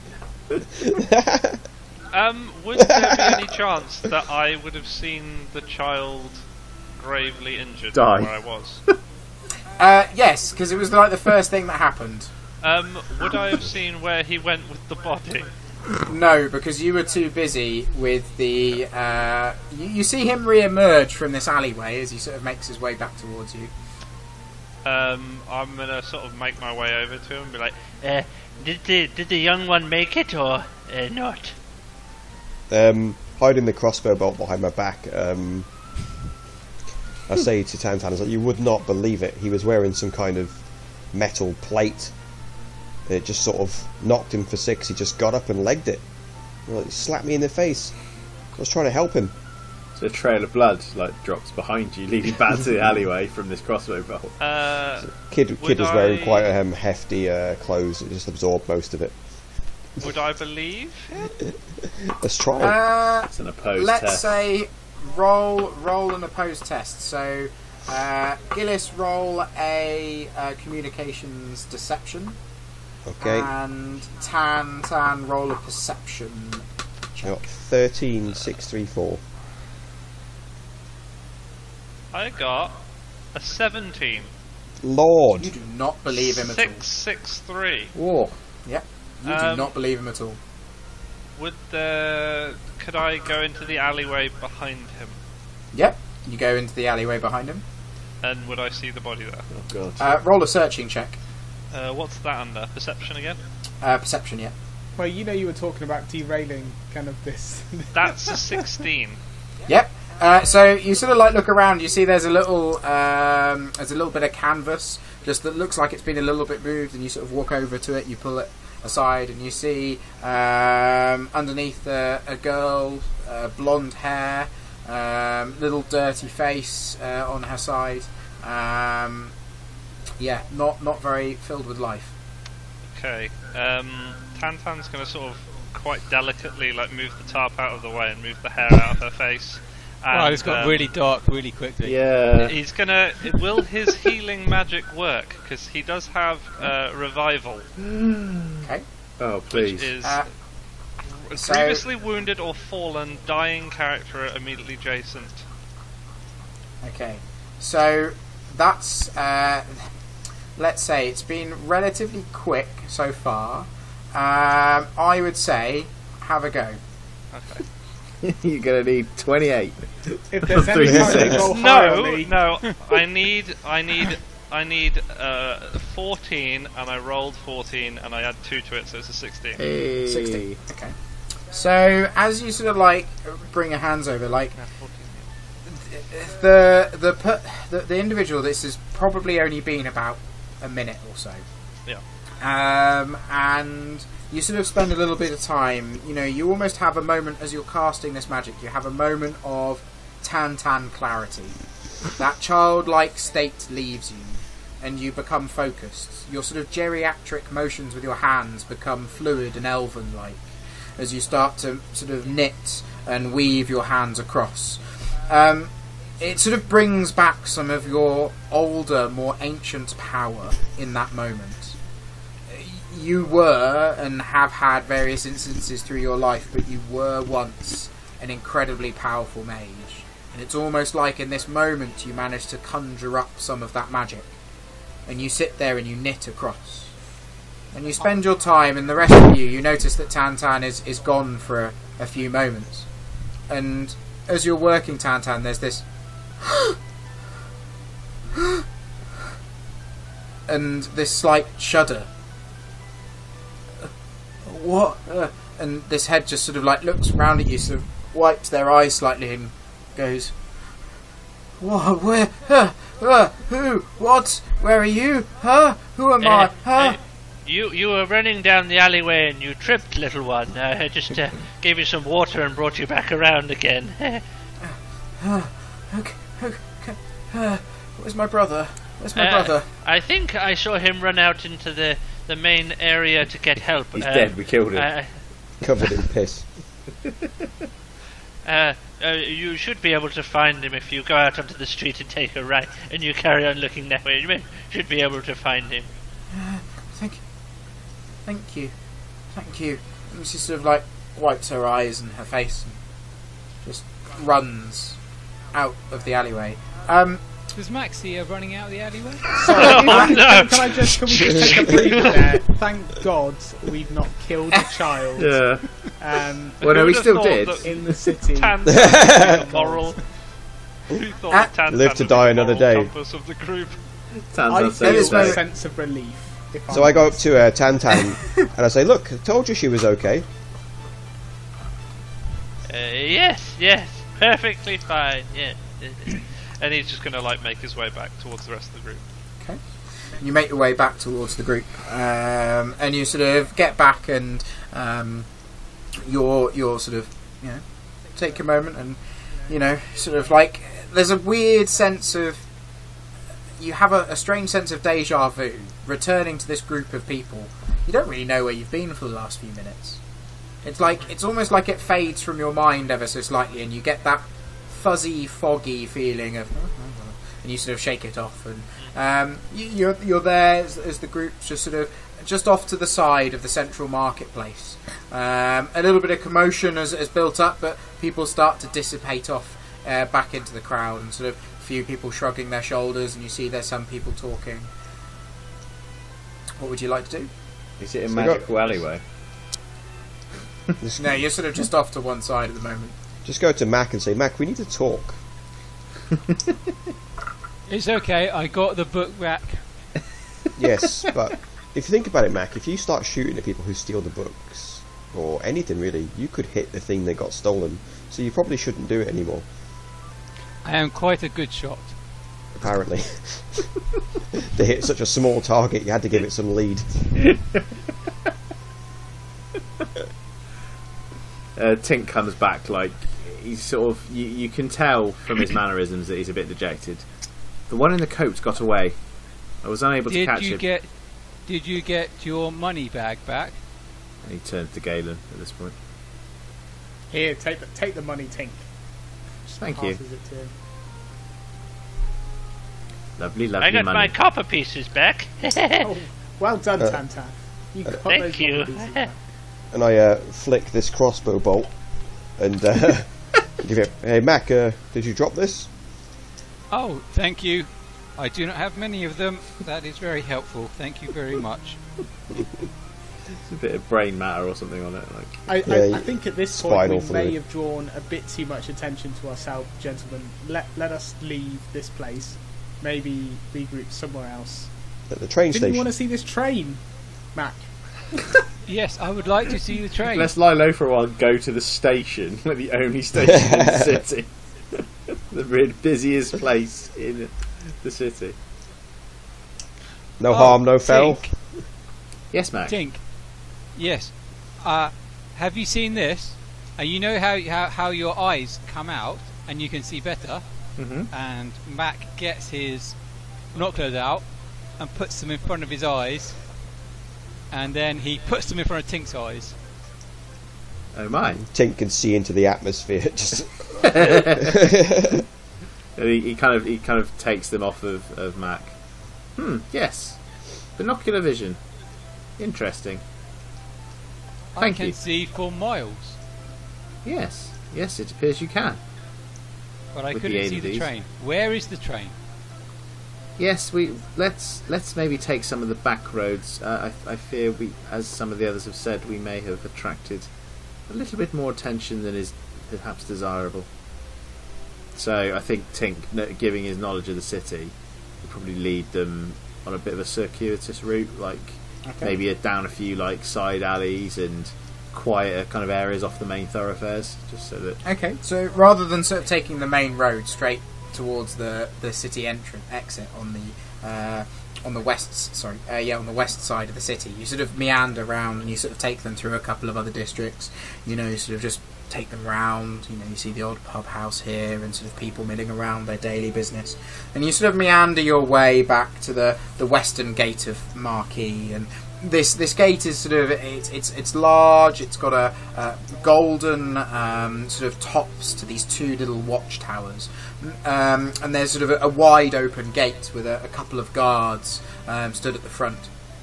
Um, these guards are marquees, Marquis guardsmen. Um, they've got rifles on their backs and they've got blue capes.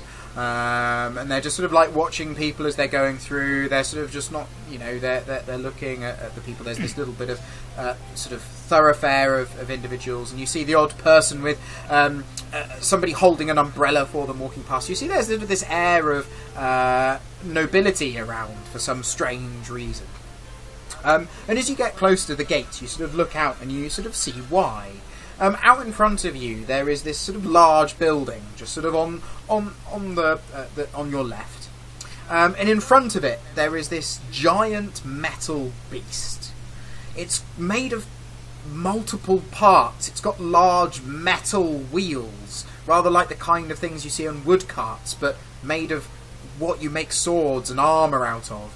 There's large rods and things that are going hiss and making noises.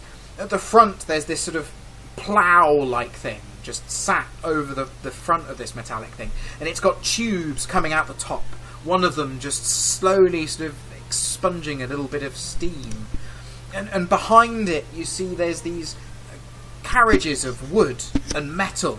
Um, and sort of just milling around this, you see there's people at the front. Um, there's somebody posing on the side of this vehicle um, with with somebody else painting them, and there's a few other people just sat round the front of this vehicle just painting away. Um, otherwise, you sort of see there's there's a little hut as well near this large building, and, and by this hut there's a, a couple of people just sort of exchanging little bags of, of gold and money.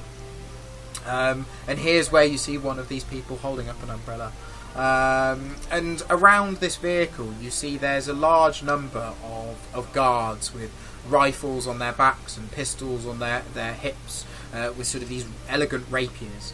And in fact, you also see uh, something you've not seen before, and certainly not in these parts, not for a while. You see this individual in beautiful golden armour. Ha- he's holding a large halberd of sorts, but his armour's almost like slightly blinding to look at. He has this beautiful red cloak just hanging down by his shoulder, uh, down off his shoulders, and he's sort of sat just on one of the the, the front uh, the carriages, just on the steps leading up to it. To his side, there's two individuals wearing leather armour with these beautiful golden plates. Again, with these red capes off their side. These two that are wearing light armours have these sort of antique rifles in their hands. Um, these are some of the finest guards in the whole of the Aurum coast.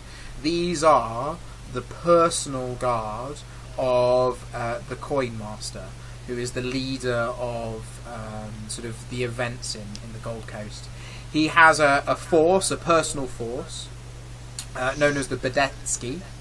Okay, and they are his sort of his personal army. So they're not they're, they're all his bodyguards. It's not that doesn't necessarily mean where they are. He is, um, but they are the people that are sent to deal with the big problems in the Aurum coast or to guard the more important things. And those of you who know about Marquis and know about the train, it is sort of one of the the linking things that brings the Aurum coast into like modern civilization, and the one thing that brings it on par with its super powerful neighbours, the Empire.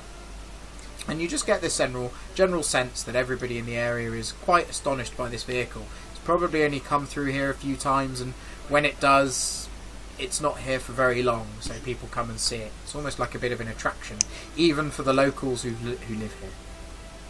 Are there how many carriages are attached to it? Is it just carriages, or is there like Um, compartments? There's sort of a, a mix. There's ones made of wood and glass with bits that it looks like you could see out of. There's others that are just completely wooden. Uh, but those ones seem to be all kept at one end, just a little bit further away.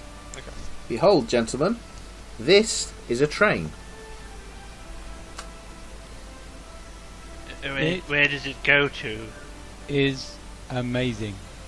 And Tink will explain to Tantan in great detail about the exact route of this railway and like how, how long it took to build, how many how many sleepers, how many rivets, how many nails it took to construct both the train and the rail. He's uh, probably going to take fairly decent notes on it in his little book that he has. 'cause, uh, he's never experienced anything like this before. Cool. This, this is going to take them Whilst about ten minutes yeah, to, to explain. Whilst Tink and Tantan are talking, um, that three uh, times Mac is going to have a look about. And can he wander up towards the cab? Can he get in there? Uh, so at the, at the at the cab, um, there's there's Mac so uh, as you make your way to the, the front train, there's a couple of people at the front. They're painting it. Uh, sorry, paint like they're they're artists painting the the image in front of them, and there's this person posing at the front. Um, at the actual cab themselves, um, there's two um, sort of uh, Marquis guards with their rifles just stood on the side, and you can sort of see in the cab there's an individual just seems to be tending to a few things. Um, just behind you, there is uh, there's those people in that golden armor. Um, but yeah, as you sort of approach, they sort of look at you and go, "Ever seen a train before?" I have not. It is amazing. Yeah, pretty nice, aren't they? Pretty nice. Nice hat you got. Thank you. I am I am King Mac. Uh, who am I addressing? Uh, I'm Tobias. Hello, Tobias. It is a nice day, isn't it, Tobias? It's, it's a lovely day. Good day to shoot are- kids. Wipes some viscera off his, Oh. off his chest. Just bringing the tone down. We just about got over that, and then we were like, "No, you are going back into the dirt and the muck and the." I'm just disturbed at how just jovial Mac is. what a sociopath. Yeah, it wasn't like they were orc children he killed. It could have just been Anyway, gnomes in his sorry. eyes. Yeah, everyone, we're all gnomes to him. Um, yeah, so so where do we get to? Mac Max just happily chatting. Do you get? Do you work here all the time? Uh, well, I work I work for the guards, uh, and this is my assignment today.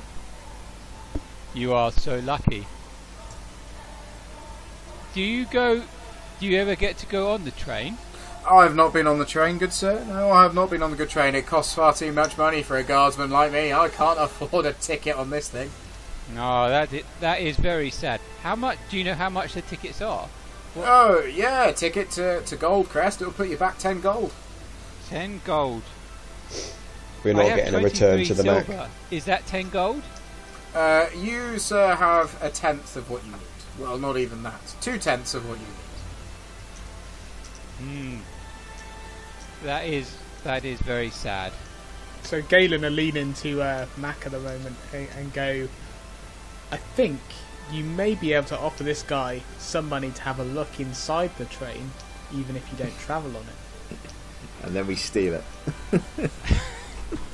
Oh, oh, okay. How do you drive Uh, this thing? Mac is going to take his the bag of group silver, and Oh, he's no. going to he's going to give it to this guard, and he's going to say, "Can I have a look at the train, please?" And he sort of he looks There's at this. this 23 silver in the bag at the moment. he looks at this. Is this long. This Yeah, bag of silver. I'm. Oh and, and he sort of like holds it and he goes, the train's here. Just look at it if you want. And he sort of tosses it back to you. Okay, thank you. And Matt's going to go and step up onto. And, the- and as you go to step up on it, he goes, "No, no, no. You can look at it."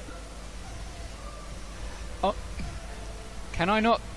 How do I, I? I I want to get on on the train. Oh, that will cost you ten gold pieces, and you go where the carriage is set. Certainly for somebody with headwear just like you.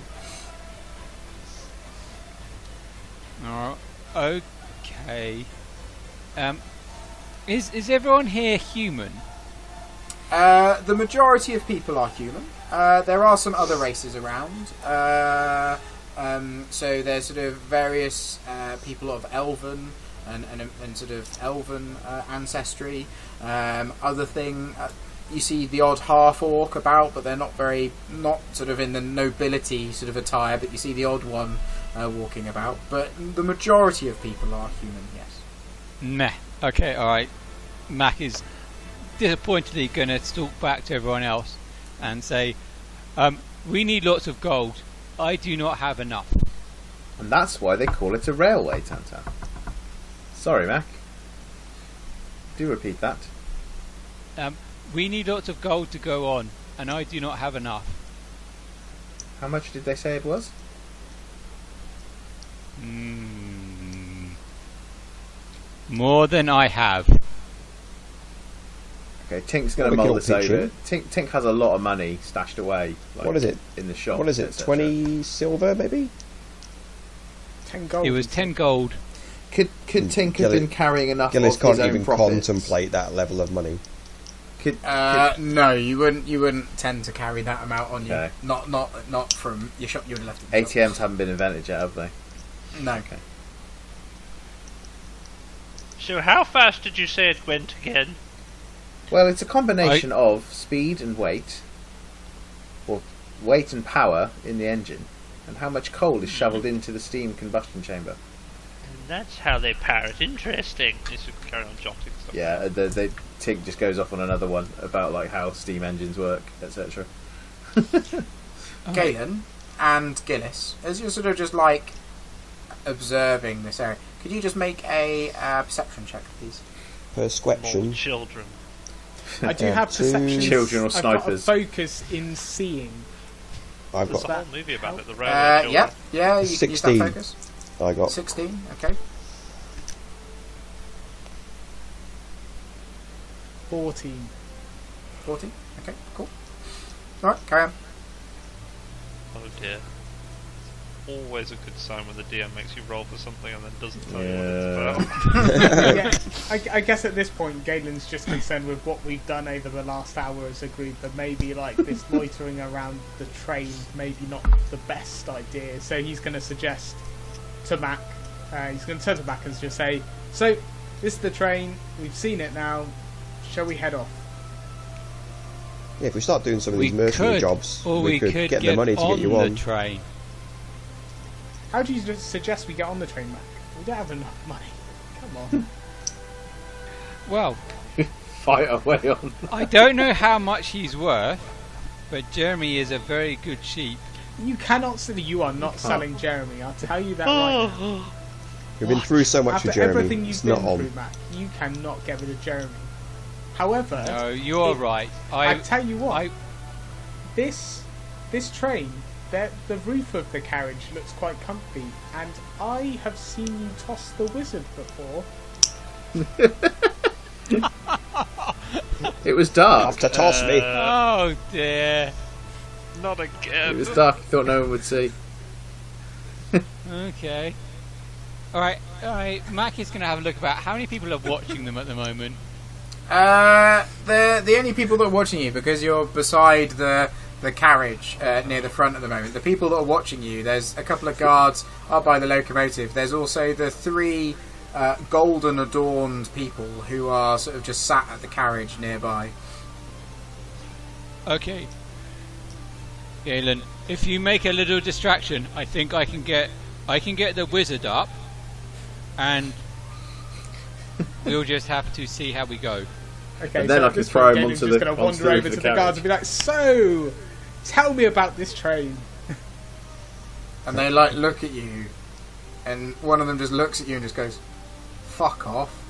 Just sort of like goes back to his conversation. Have you heard about our Lord and Saviour, the Ember. Lord? Mac is going to try and hoist Oh no. Tantan onto the roof of a Jesus. train. Not this again. Well, if anything though, on if then. we get on this train, John can Opposed, literally railroad us. opposed, opposed, opposed. Check. Can I instead of try? Can I instead of trying to oppose him? Can I try and jolt him? Yeah, go for it if you want. Because he's sick and tired of being picked up and thrown places Yeah, now. go for it. So, so yeah, so he, he will he will try and grab you. I'm going to say that if you if you succeed in your jolt, then he'll be stunned. Okay. Uh, I got a 13, which is a success. Okay, so uh, Mac, you need to make a Constitution check. Is it Constitution? Yes. Yeah, it's Constitution. Uh, stamina check if that helps. Stamina. Oh, Yeah. I've got I've got advantage in stamina. I totally destroyed you. I don't know if you can see, but I've got. Oh, Oh, I can't see what that bottom one five, is. five, and five five three plus Oh, plus one in Oh. stamina plus I have stamina as well. So Oh. that's another two. So, So you you only take beat it- me by two, but you do take two points of piercing damage, uh, penetrating damage. yeah, two two points of damage. Okay, so uh, roll a Strength check, please, Mac. Oh, Jesus Christ. I'm just gonna be like, no, no, not again! It's what's happened is Alright, the jolt was has locked his muscles out and he's just that. fired you even That harder. was eleven. Okay, uh, so as you sort of like try and pick up this wizard, you, throw him in the air. As you throw him in the air, um, you sort of see with like almost what you feel like is unnatural speed. You have two rifles pointing in your direction. Um, and the man who and, and Galen, you're just greeted by the fact that these two people that stood in front of you and just told you to fuck off, like almost in an instant, just flip round, bring these rifles up to bear, and point up as this elf sort of just flies up, hits into the side of the carriage, and sort of just flops down on the side. Take uh, two Smears down points the window, of yeah. uh, yeah. Take uh, two points of damage A uh, sliding that Tantan damage. you flap. and um, the, the man just stands up and goes, "What the fuck are you doing?" Um, the person said that it was 10 gold to go in the train, so we are going to go on the roof so we do not have to pay your 10 gold. And this this this man just looks at you, flawless logic. holds this this halberd onto the side, and just goes, "Get out of our sight before we shoot you." Can we have our friend back? That is not very polite. We are guests in your city. Yeah, this isn't my city. My city is Goldcrest. If you don't bugger off from this train, I'll deal with you the Goldcrest way. Making friends wherever we go. Mac loves people. People love Mac. King Mac.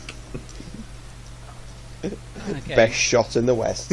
So I think at, the, at this point, Galen's realised like the error of his judgment, and he thought he'd be having a little bit of a joke with with Matt, but it's probably gone too far. So he's going to be like, he's going to say to the guys, "Wait, wait, wait I'll, I'll I'll deal with these two, and just turn to Mac and be like, "Come on, let, let's see if we can find a way onto this train another way." Uh, Tink go, is. go. Sorry, Sorry, go on. No, go on. No, crack on, mate. Tink's going to use his eidetic memory. Galen, did you not have to travel to the Archaeological Society? Well, we did need to visit them um, and, and find out more about King Mac's star. Well, then perhaps maybe the we should do that. Yeah, so I I get between the guards and Mac, and I'm like, sorry about my friend here. He's obviously very special. He uh, I thinks. am, He, I am very special. I put my hand to one side. I'm like, he, he thinks he's a king of sheep. then, uh, I'm just going to get him out of your way. Like, Mac, let's go. Um, Galen's got an idea.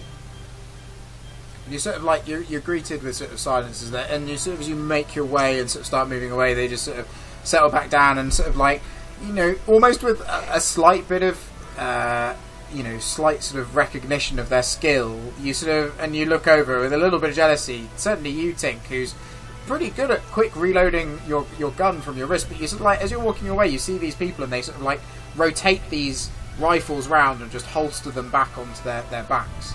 Um, know, with with a real sort of efficiency and speed that's quite unnerving. Oh, that's very impressive for an organic being. Um, what route are you taking? them. What what route are you going? Back to the um, the the archaeological society. Are you going on a roundabout route again, or more direct? Uh, probably Maybe more direct, but like along sort of site, you know, not in any kind of populous areas, just in case we are kind of wanted. All right. I don't know why. I mean, So well, we as you're killed a making kid your in cold way, blood. as you're making your way Nearly. um, back through the um, sort of districts, you sort of take a few turns and you sort of make your way through um, a little bit off the beaten path.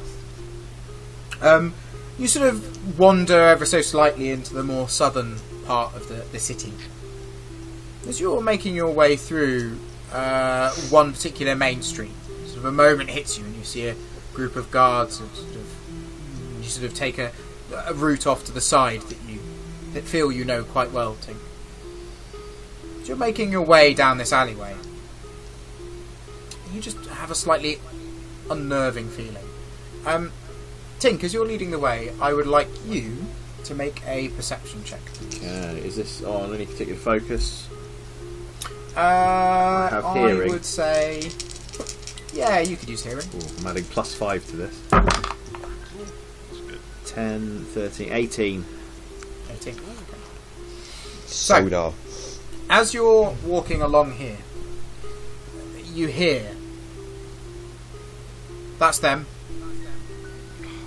And at this moment, uh, as you're walking through this slightly more narrower path in this alleyway, out of the, the sides, just launch about four people towards you. They took you completely by surprise. Everybody else who was walking through here and they have you dead to rights. Oh god. Um, Tink, however, heard them. So, the way I'm going to play this, I'm going to get you. I'm going to roll some attacks. Let's see how well I can roll. Can I communicate to the others to. At the moment you heard, that's them. Uh, This is when this happened. Okay. Um, however, unfortunately, earlier the perception checks that you made earlier, you did not pass. You were being followed and have been being followed for a little while. Um, ever since So- the marketplace where we killed Well, wouldn't you like to know? So It all adds up. yeah. Uh, It does so, seem like there's a logical path. Yeah. Almost like Okay, you can't so, get away with shooting um, kids in the street. Matt, um, Almost. so the way this works with Dead to Rights, because they've caught you completely untoward, Oh, no. if they hit you at all and deal any damage to you, you are knocked out. Okay, or killed. Okay, that's Oh, how Dead to Rights work. They because basically you've just been walking around the city. You're just taking your. You're not really looking out for them. They've been looking out for you very much. Oh, my okay? God. They've caught you very unawares. Um, so, Mac, you've been hit. Okay, and your world goes black. Uh, du-du-du. Gillis, uh, that is a du-du-du-du, twelve to hit. Defense. Gillis. us. Defense. Oh, my defense is an 11. Your world also goes black. Tantan, Can, can I see what they're being hit with here? uh, you'll see in one moment. Uh, 40, uh, sorry, sixteen. No, I have an AC of 50,000, Jonathan. uh, so I think you'll find that misses. Yes, of Uh, course I've literally seen it going. Your world goes black. Um, Galen, that is a thirteen. I've been hit. Your world goes black. Tink, as you hear behind you this scuffle of fists hitting onto the back of people's heads, planks smacking into their back, you turn round and you're greeted by this scene of these four large bandits just jumping out of the sides of the, the alleyway, laying into your friends, and your friends, just sort of, or your acquaintances, just dropping down, slightly unconscious. Uh, behind you, you sort of see. Um, sorry, at this moment behind you, you hear a Yeah, it was them. That's the one. And he sort of looks and goes, and that's the staff. And as you turn round, behind you, there is this large brute of a man. Big ginger beard, big tattered head, and his fist just smacks into your face, knocks you ever so slightly, and knocks you out cold as well. Mugged by Hagar the Horrible. your world sort of go black for the next few moments. You, it's a couple of you days in and out of consciousness. As soon as you feel like you wake up, something hits you out of nowhere and sort of turns you back to the darkness. And you sort of like feel everything sort of like time warps. You don't know how long you've been like this. And then you sort of find yourself sat on sand. Sand under your feet. And sort of you start to brush your eyes. And you try and reach up, but you realise your hands are bound. The light in here, it's dim, flickering. And you sort of look up. The light hurting your eyes and you just sort of see in front of you this man. Long brown beard, sort of very neatly cut. Short black hair held over to one side. And you see him there, holding the staff, looking through it. And he looks over it. and he looks over the child that's there, throws him a bag of coins, and goes, Huh, you've done well. And he turns to you and goes, So tell me, where did you find this? And that is where we will stop this episode. Ooh, cliffhanger. Dun dun dun. Always kill the children. Oh my lord. That was that was so that went whew. I was like, where's this going? Okay, cool. the orphan pickpockets are getting shot. Nice. Yeah, I did not expect that. Just Matt to be like, so I'm going to pull my crossbow and shoot the child. Just well, in all fairness, he did do one of his rounds of a ridiculous amount of damage. Yeah. yeah, it was quite a lot. you know, It's like Almost I like mean, he's you built can his character to have that dexterity difference. If a child's running in the opposite direction to a crossbow bolt that's flying through the air, e- uh, the air even if it hits them in the back, um, it's still going to knock them down. yeah, yeah. Oh, that was that was brutal. But yeah, I, so I was waiting for was, a uh, GM hammer to be like, oh, your crossbow string snapped. yeah. Oh no, you Alright. you strike a bystander. It's it's it's no that the GM the GM hammer has has now hit you you you brought something the child along. in the back of the, in the spine. so that's that's Yeah. gone a slightly uh, No slightly Russian. different way from where I was expecting it to go but you know I'm hoping the small child shows up and saves us. I reckon Wow. that was the one that gave us the got given the coins. It's probably the one that we shot. Yeah, if you just let him, not. if you just let him die, we'd have been fine. Hey, Tantan has no recollection of this. He has no idea what you're on about. well A likely so excuse. um, that that sort of wraps up uh, this this uh, fortnight's episode so thank you very much for listening through that and uh, yeah we'll find out what awaits the group uh, within wherever they might be right now and, and where this is all going to go Are we on the Um, train? so- Please say we're on the train. yeah, yeah, you're, you're on a carriage situation. on the train. um, so yeah, we'll see how they whether they manage to get themselves out of this situation um, and how. So yeah, I look forward to, to that one next time. So thank you very much, folks. Amazing. No, Thank, you, John. You. Yep. Cheers. Cheers, John. All right. Uh, how, and uh, thank you very much for, for listening along, and we will catch you in the next episode. Bed, bed. Bye. Bye bye. Bye bye. Bye. Cheers. Thank you for listening to our show. We hope you enjoy it as much as we do. On that topic, if you did like the show, please leave us a review to help more people find their way to us. Anyway, we look forward to having you along for the next part of the journey. And just remember the most important question what would you like to do?